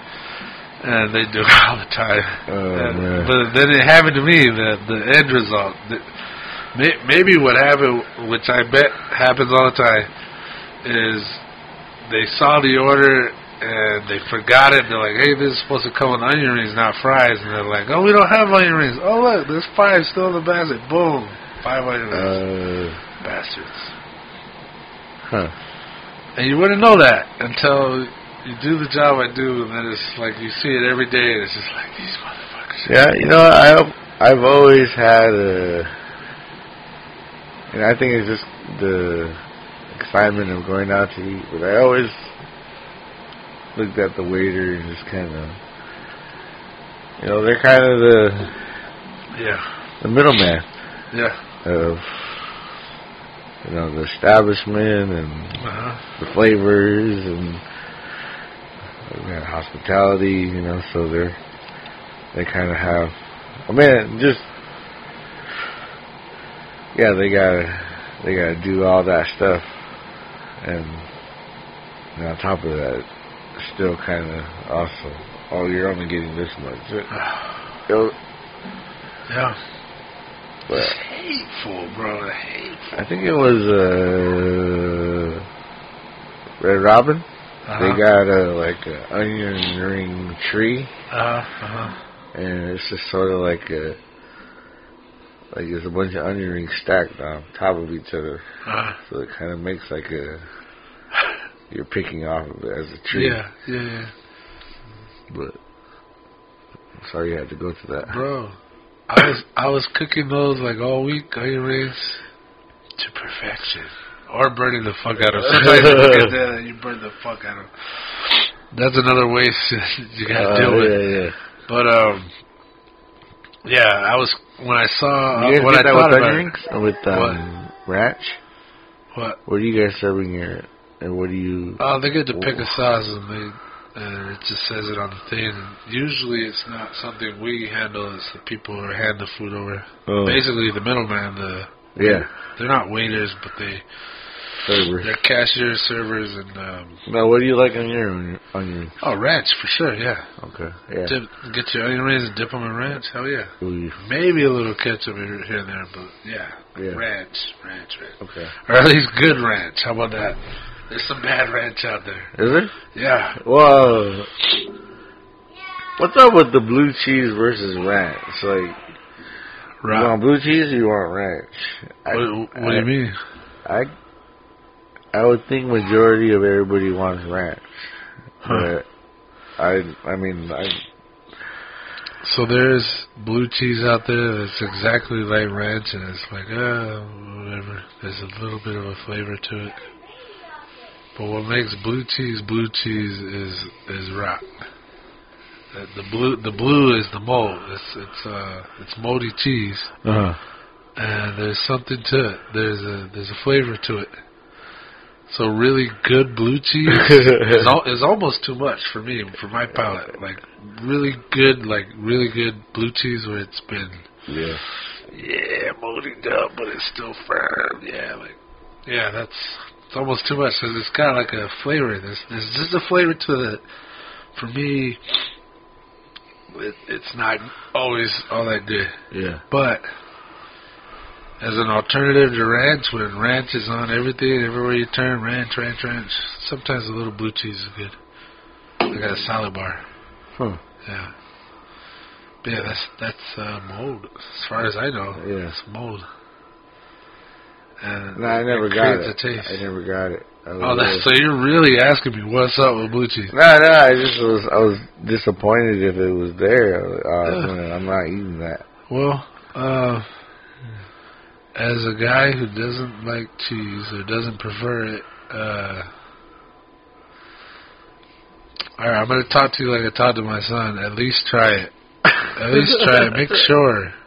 I don't care how it looks. Try it, cause kid. Well, I don't know. I, I want to start with saying kids, but people in general are choosy about how the food looks right off the bat. Uh, no, it looks like ranch. The ranch. Good. it well, ranch. if it's not good, if it's not good blue cheese, like good blue cheese has chunks of cheese in it. It's lumpy. Uh, If it just looks just Oh. as flat and smooth as ranch, yeesh. you're probably not getting some of the best, better blue cheese. Okay. But, yeah, I'm uh, thinking of the white stuff. yeah. It. If you've been eating ranch all your life, for the love of God, try some blue cheese. Just try it. You know. Yeah. I just watched you eat a pizza earlier, and there was cheese on it. It. Wasn't blue cheese. It wasn't blue cheese, but I'm saying it was one kind of cheese that you tolerate. Uh, So maybe there's another. huh. Maybe there's a cheese out there for you. Maybe. Maybe. I believe it. It's out there. Huh. Yeah. I, I like to mix it up every now and then, but a, a true, really good blue cheese is not for me. Yeah. And that's me, a cheese lover, saying that maybe not that cheese. Well, I'm just thinking of the stuff like the like the wings or the carrots. Uh huh. Blue cheese or ranch. I want ranch, but Uh huh. you give Yeah. that you give that choice, and it's like, nah, I ain't going with blue cheese. Huh. Let me, uh, this might be a, a bad sideways conversation, but like, since I started eating sushi, Why? I you pre- started? yeah, well, I'm saying since I started, I didn't say I just started. Oh, but, okay. but, uh, That's what it sounds like. I actually didn't really eat uh, sushi until I was older, like in my 30s. If I had it if I had it before, just the thought of raw fish kept me from eating it. Uh huh. I know better now. But uh, That you like it. Oh yeah, yeah. But w- w- what I'm trying to get us into a side story here is uh, not a story, but like a new conversation is complementing foods. So like with sushi, Huh. There's usually some wasabi, which a lot of people won't eat, but and I don't want to eat it. But if you mix it with soy sauce, it becomes a spicier, different flavored soy sauce. Hmm. When all soy sauce usually tastes the same, it's super salty, but a little wasabi changes it, makes it spicy and good and delicious. And then there's freaking uh, thinly sliced ginger, Oh yeah, yeah. I remember that. which for the most part is usually dyed, which I don't nari? understand. Huh? I thought it was called nari. Uh, I, I think nari is uh, like fish eggs Okay. or nigari. I don't know. I don't understand all Yeah, those different names. I just I- know visually the ones. Okay, I, I like. remember the ginger. Yeah, Yeah, but anyway, the, it might be nari. I don't know. maybe. I, I don't know. I I'm not educated enough to know. I remember the term nari, but I don't remember Yeah. what it was. Yeah, but but what I'm getting at here is is complementing flavors. Mm-hmm. So when you eat sushi and you're getting all burnt up, either hot or uh, maybe you've been eating one kind of sushi and dipping it, and you got all this flavor in your mouth. My understanding of the ginger is it's a palate cleanser. So in between changing between your dips and your sushi, you eat a little ginger. It clears your Mm. palate with this new flavor. So it's complementary to eating sushi. So you just mentioned uh, wings, hot wings, and the ranch. I always appreciate a little ranch with the carrots and celery sticks. But why why do we serve celery and carrots with hot wings? It's complimentary. So what do you think about that? Like foods foods that are just there. some call it garnish. Yeah. What do you think about that? Like like is there a garnish or something that you appreciate, like something you'll seek out and eat, or you know, what do you th- what do you think about it? Mm. Well, garnish makes it sound like it's you're not supposed to eat it. It's just kind of flavor Uh-huh. on the plate. Okay. But with carrots and Huh. celery, Okay, like, yeah. I, I you're What is that called? You're kind of it's almost a side, Okay. Yeah. All right. a side appetizer or I don't know. It's a because I remember like you know not everybody likes wings, but you know they'll eat a carrot with Yeah. some ranch. So Yeah. almost saw it as like just accommodating for Hmm. anybody else that was. Because wings at a restaurant is an appetizer usually. I mean, Hmm. you can get it as a main meal, but Yeah. for the most part, the appetizer is the communal. It's like the cheese crisp, you know, like let's just all taste this, kind of hold off, Yeah. wait. Hold up a little bit. Yeah, yeah, just, like, just a little something to get you ready for the main meal, right? I mean, that's how I Yeah. see it. Yeah. So with the carrots and the celery, it was almost just maybe you're not eating the wings, or maybe everybody ate the wings. And you Just trying to eat whatever's left on the Yeah. I don't know. Uh, I don't know. I I think they. But might- might are you kind of saying like that, like it's similar to the ginger I think so. sushi, where you're because uh Well, think of it. it. It's not spicy. It's not meaty. It's Mm. not fatty. It's a vegetable. Two kinds of vegetables, and they're both like not Mm. the flavor, you know, the most flavorful vegetable out there. But they're there with all your wings, all your orders of wings, and probably some other stuff like some zucchini. Is sushi uh, best with multiple people, or is it kind of? Would you also say it's a thing where you can eat by yourself? Because when I my sushi experience, and I um for the record, I don't really care for sushi. I don't Okay. like sushi, but like, valid, I, yeah. I've been in sushi situations where this is all these Sushi different, situation. just all these different types of sushi. Uh, and it's just sort of just let's try this, let's try this. It's sort Yeah. of like I so I can see how the nari is that. Oh, let me clear my palate and then try uh, Yeah. something else. Very, very strong It's flavors. a little Yeah. different. I mean, I know there's so many different types, Yeah. different ingredients that make a Yeah. California roll or whatever, uh, spring roll or Yeah. whatever they got. Because. I know there's there's Crunchy roll, 'cause yeah, they got a- all that It's stuff. a lot of. Oh, I mean, I would like to talk to a sushi snob. I, I think you and I should go to the buffet at Sushi Garden. That, that's my spot. Sushi Garden. Yeah. Is that on um, on Broadway? Yeah. They have a they have another one in the foothills, but I heard they're just tearing down that mall, so that might not be there anymore. Okay. Um, sushi gardens where I finally discovered I like sushi, like hard, a hard yes, a hard confirm, Uh huh. And so far it's the best I've tasted in Tucson. I've, I've tried several times, like because you can't always make it to the sushi garden at the right time, so it's a good price. Because if other times you could spend hundreds, a hundred dollars easily on a couple of rolls of of sushi. But um, uh, well, I don't I don't know what the, your question really was. I'm saying like I really like sushi.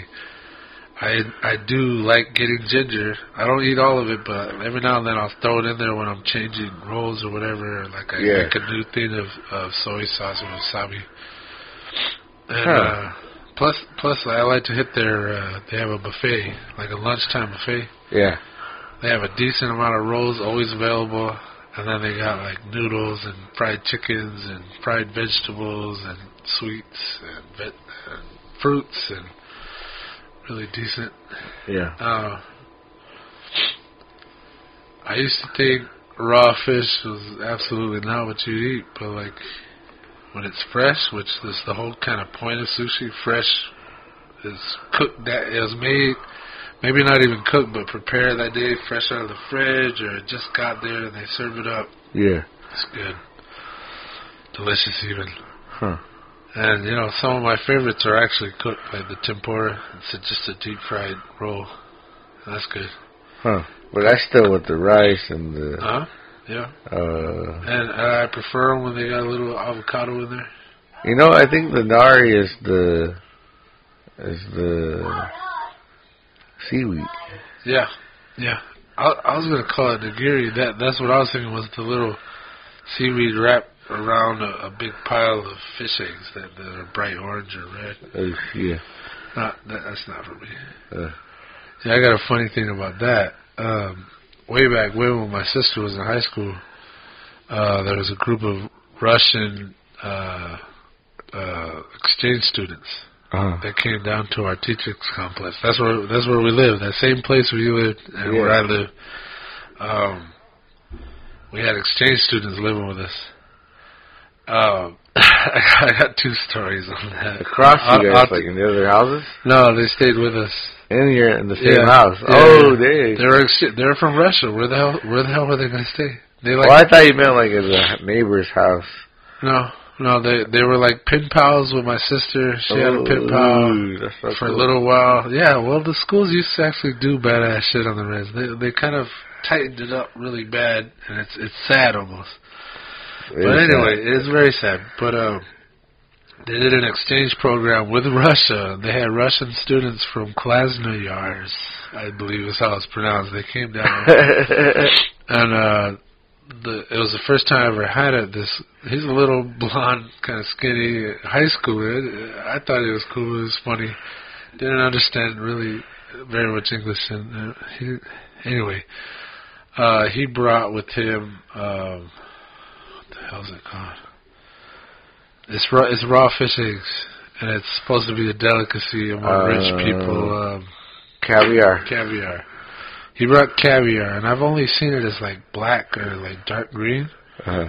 But he brought these this like tin of caviar, and they were bright, kind of yellowish orange. oh shit. They were kind of big too, like bigger than BBs, like maybe uh, like the size of a pea. Uh-huh. And the way he prepared it was he got a, a piece of toast smothered in butter, and then like just packed on caviar on top of it, and then I'm pretty sure he salted it too. But caviar, the ones I had in it with him were salty as fuck, like so fucking salty. Uh-huh. I ate some because I again it's the same thing I'm trying to teach my boy. Try it. I don't care how it looks. Try it and see if you like it. Don't don't just say no. Yeah. Don't say no because of how it looks. You gotta try it. At least with food, I don't want them testing out, you know, hard drugs or whatever. But anyway, um, so he brought caviar with him, and I, I was so my sister was in high school, so I must have been in middle school, and uh, he brought that with him. It was one of the experiences we had with him. Like he's like, "Hey, I brought caviar if you want to try it." I'm like, "Yeah, we've never had. I've never had it. I'm sure my mom had."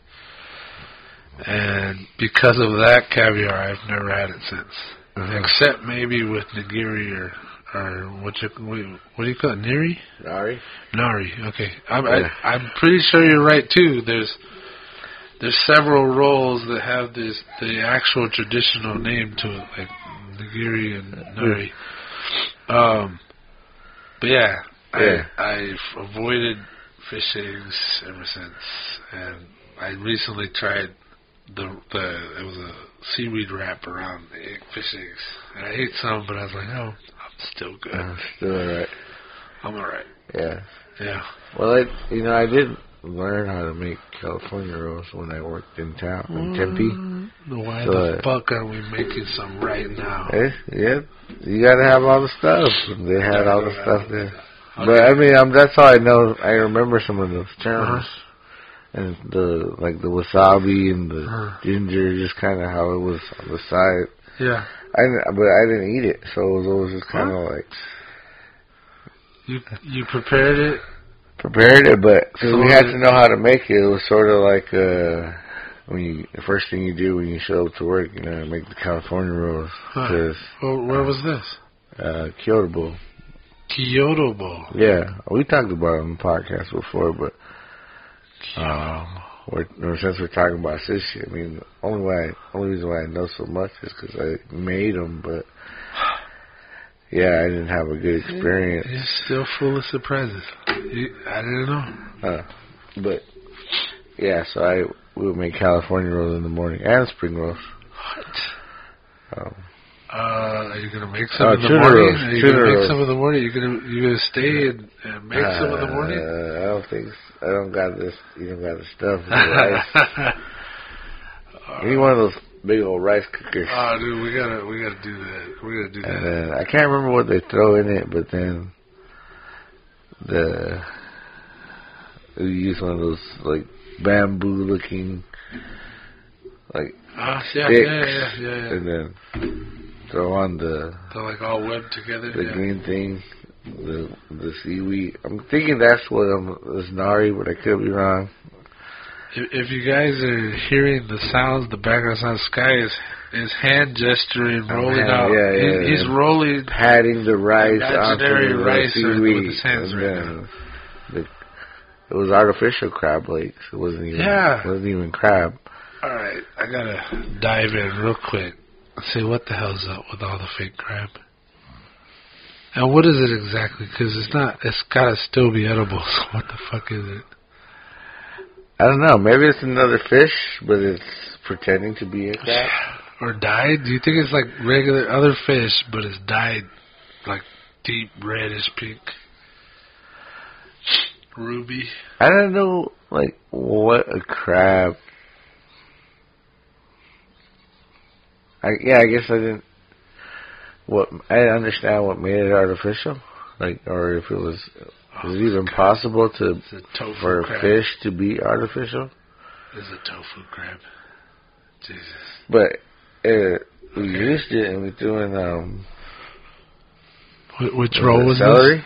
Which roll was this? uh, celery, cucumbers, yeah, and then ranch in the middle. And then ranch, we rolled that shit. ranch, cucumber, fake crab. What what what roll was that one? And avocado. Yeah, an avocado. So what? what That was the California roll. Mm, on purpose. It's Well, it's, the it's seats. not, it- That's not tossing the seats. all right, tell me this. We're here in Arizona. There's not an ocean in sight. Are we using artificial crab to make our sushi rolls? And we're not in California. Or is it such a common practice? Are people like people in California right on the ocean? Are they also serving up these fucking artificial crab Huh. sushi rolls? Oh, well, maybe it's like crab that's not in the ocean, but crab just hanging out and, and not in the I don't not wanna, in the I don't want to meet that crab. and that's what they're eating. But I, I'm, You know, watch, watching the deadliest catch, that shit better be expensive. You know, like real crap. Uh-huh. So maybe it's so expensive, Uh, so so that that everybody has to use a little artificial crap. uh, we went to the we went to the casino. This is a few years ago, no, a long time ago, but Uh-huh. uh, just so happened that day it was like they gave me a free buffet, uh-huh. and the buffet was fish neck, okay. and there's just crab legs. Just, As far 'cause as you can have crab legs cold, and you can also have them hot, Huh. and Yeah, I guess so. and it was just it was new to me because uh, I mean I I like fish. I'll eat whatever's fish, but it was like you know you kind of had to pop it open and like I didn't. That's work, man. It was almost like kind of like yeah like like I almost needed a. A teacher or instructor to sort of say, "Hey, this Help- is help me sort through this like, shit. Like, what, what am I doing? What am I looking at?" Where do I begin?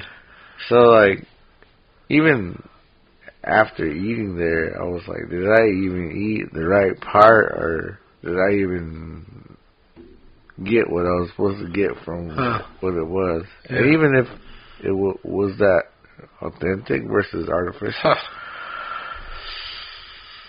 so I, I I feel that might be a yeah artificial crab. You've brought up a very interesting question. I feel like even a farmed crab would still be crab.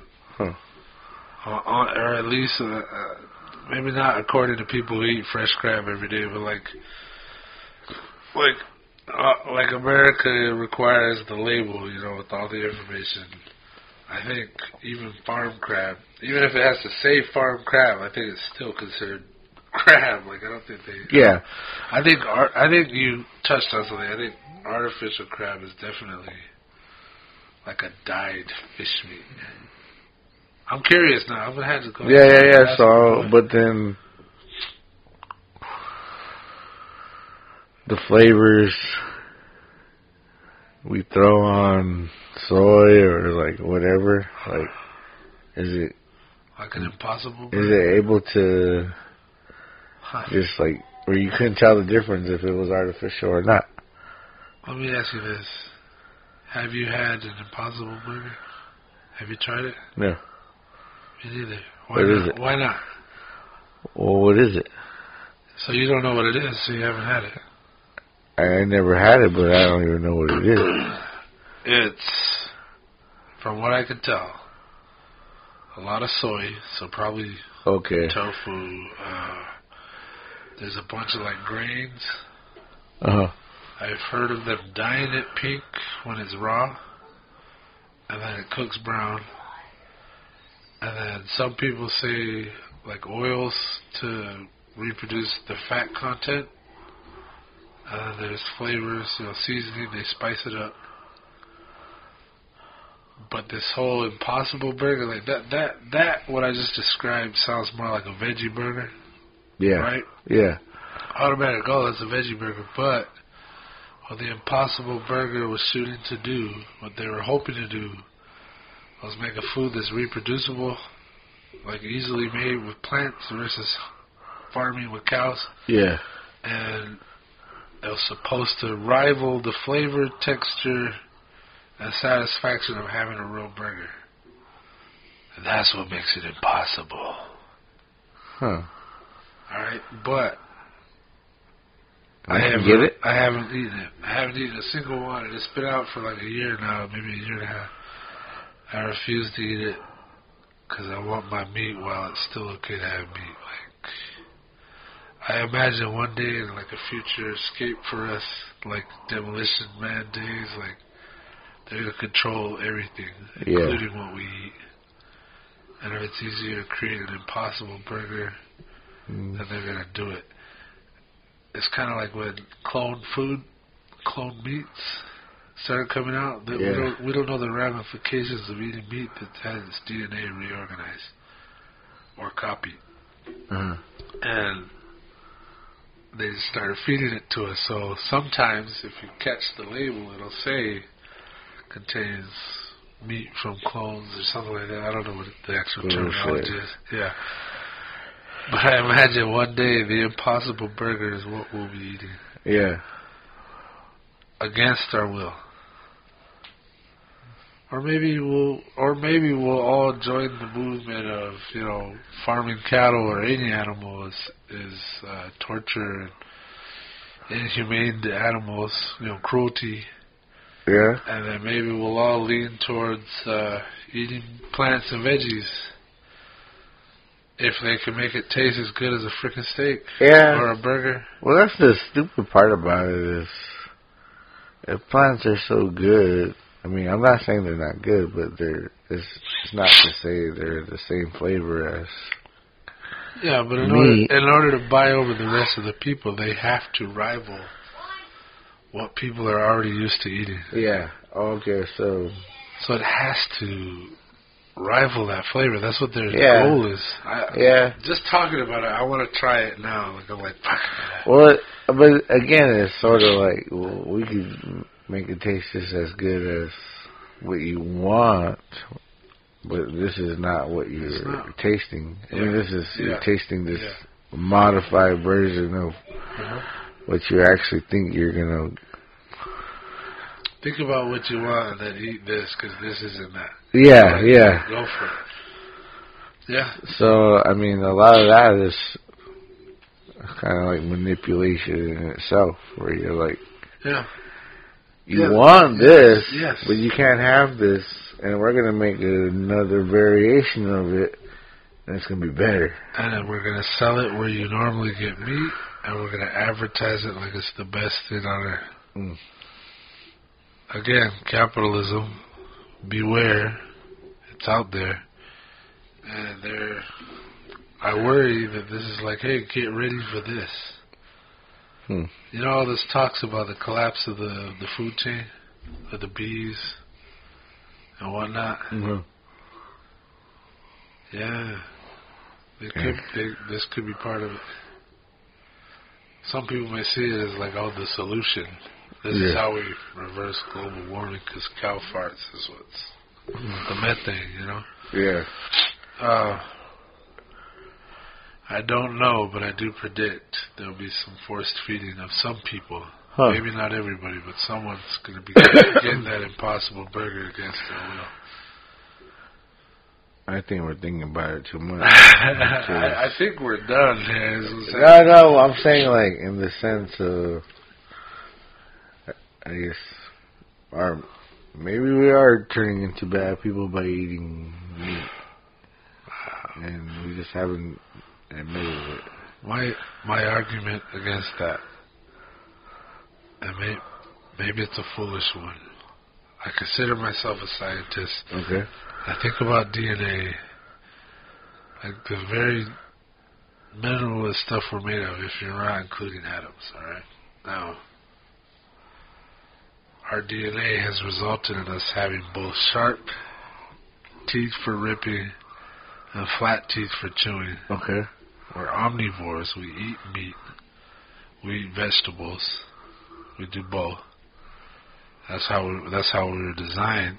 You know, Yeah. well, it's, it's in our mouth. Yeah.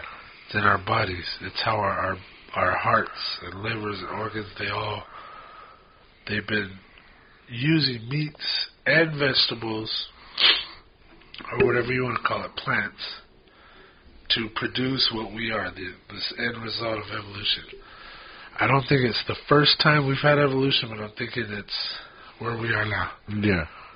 And to try and change what we're eating forcibly could could be detrimental to all of our health.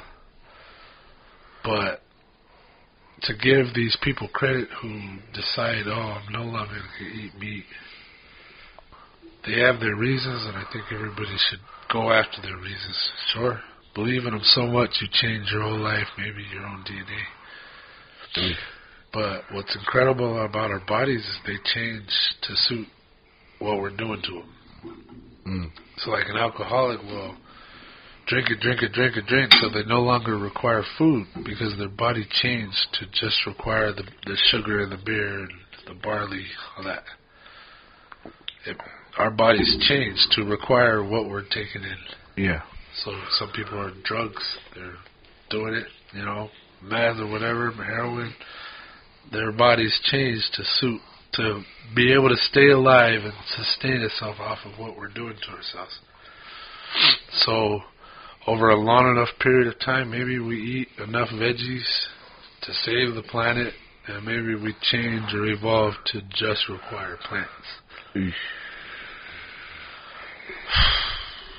That being said, I love me some some meat. Some carne asada, yeah. Yeah, and I don't think anytime soon I'm gonna go vegan. Yeah.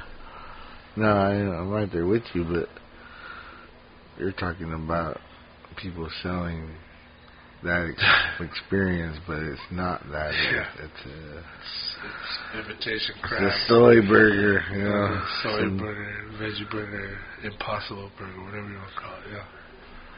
I saw soy chorizo the other day. You know, You saw what? soy chorizo. Uh, that's what they were selling. I mean, that's what was on the TV, but it was like, Have- how is that not a thing? Uh, Have- how is that a thing? Have you ever had turkey bacon? uh, yeah, yeah, yeah. I have, but I mean, not in a long time. Okay. What What did you think? Can you remember? I mean, I just thought it was a weird version of a bacon, but it was, it was not too. It wasn't bacon, but it was, it was a variety of something. Uh, uh, to me, it felt like a, a sliver of dry bark, or like flavorless turkey. oh damn! flavorless jerky. And uh I felt like Peter Griffin on, on, on the Family Guy, where, where they're trying to feed him. He's just like, eh, eh, like, Yeah, yeah, out, yeah. eh. That's how I felt the first time I had it. And I've had a sense where like my family was trying to go healthy or whatever you want to call it. And we had we had some crazy foods like we tested out this uh the uh, it was called cow not not you know like that old joke. Not Yeah, it was called Psych. cow yeah it's like oh yeah this is beef psych. Yeah they even put it in the title. Beef it was like I think it was cow not or like beef not like not. Uh, God mm. they had it like chopped up like meat pieces, like little, it was almost like carne asada, like little chunks. yeah, And we tried several meals. Like my mom was really trying to turn us around as a family. Like we're we're big and we're like probably unhealthy. I felt healthy, but um, I still I still kind of do. Like I'm, I'm heavy, but I, I I do believe that a, a bigger, heavier set person. Not so big that it's detrimental to their health, but like bigger is better off than somebody who's got the six pack or whatever. Like, if that person doesn't loses their food supply, they're gonna die immediately. These skinny, Hmm. oh, I got three percent body fat on me. Their hearts will stop. like if, if they ever lose their ability to supply food and energy to their bodies, they're gonna die immediately. And then a chunky person, their body's gonna eat their fat uh, as a well, it'll eat muscle too, but it's gonna have fat too to sustain you. That's the whole point of storing fat is to provide this like emergency energy for your muscle. Hmm. And a big buff ass person with no fat on their body, take away their their energy source. like those people who do the survival shows, like Naked and Afraid, they're going out there, they crash immediately, like day one. They're all buff and like, oh, I got this, get out of my way. They get toasted in the sun. They, I mean, maybe it's just a, a really bad sunburn, but I, I believe it's that all that muscle requiring all this energy to sustain it. They don't have Uh. anything to do that. Huh. So if they don't eat well, if they're not a good hunter, they they crash. And then I seen like big fat people come out looking all right, looking good. They slimmed down because they had all this energy. and They're kind of like running to the end of the of the race, you know. Like I'm good, Yeah. you know. Anyway, I lost track of. Nah, I get you. I get you. Uh, we're approaching three hours here. What the hell? Yeah, I, I think we should call this at some point. I, I think I think we've said what we had to say. Yeah, yeah, yeah. I, I, like I wanted to do a quick one, but I think we haven't podcasted in so long. Like it's like we needed this. We needed to offload. Some, yeah, yeah. I, I think there's a lot on our shoulders we gotta get out. yeah. So, So what do you think? Yeah, some words to end with all this. Uh, Maybe maybe about the title of this episode. What would you call this episode? just sort of uh, a reload, A reload. reload, or uh, um, Yeah. uh, Natives in America podcast. Reloaded. I mean, just sort of uh, back at it, you know, Back at back at it, because you know it was a long time from our last episode, and then.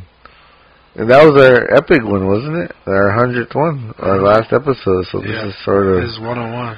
this is kind of the Episode 2 of season 4. Uh, yeah, but uh, we've also you know, got a lot coming. yeah. Know, Oh, yeah. a lot of exciting things that are happening with the pod, and Yeah. I got people in mind that we need to talk to. yeah, the new gear. If anybody can help us, I want I want Gwen on the podcast. She's retiring. We, we I think we've all seen the post by now. If anybody knows her number or can talk to her on her last day of food sales, we want her on the podcast. I think that would be Uh, great uh, yeah, I think it'll be interesting to hear the stories Yeah, she has. yeah. So, but yeah, this I didn't realize we were three hours. I was Bro, I was uh we're, we we had some I don't know how we got to where we're at, but yeah, I mean it was a fun ride. oh yeah. I'm, I'm happy to be recording again. Especially that we did it in person. yeah, hell yeah. So I think it I I got nothing That's it. more to say. Yeah, just call it, call, hit the button. Everybody, thank you for tuning in. It was if up. you made Yeah. it this far, you know, good on you. You know, it's good to be back, and uh, I'm glad you're listening still. I hope you're still listening. Comment. Yeah, hit us up. There you go. Yeah, we'll respond. Peace.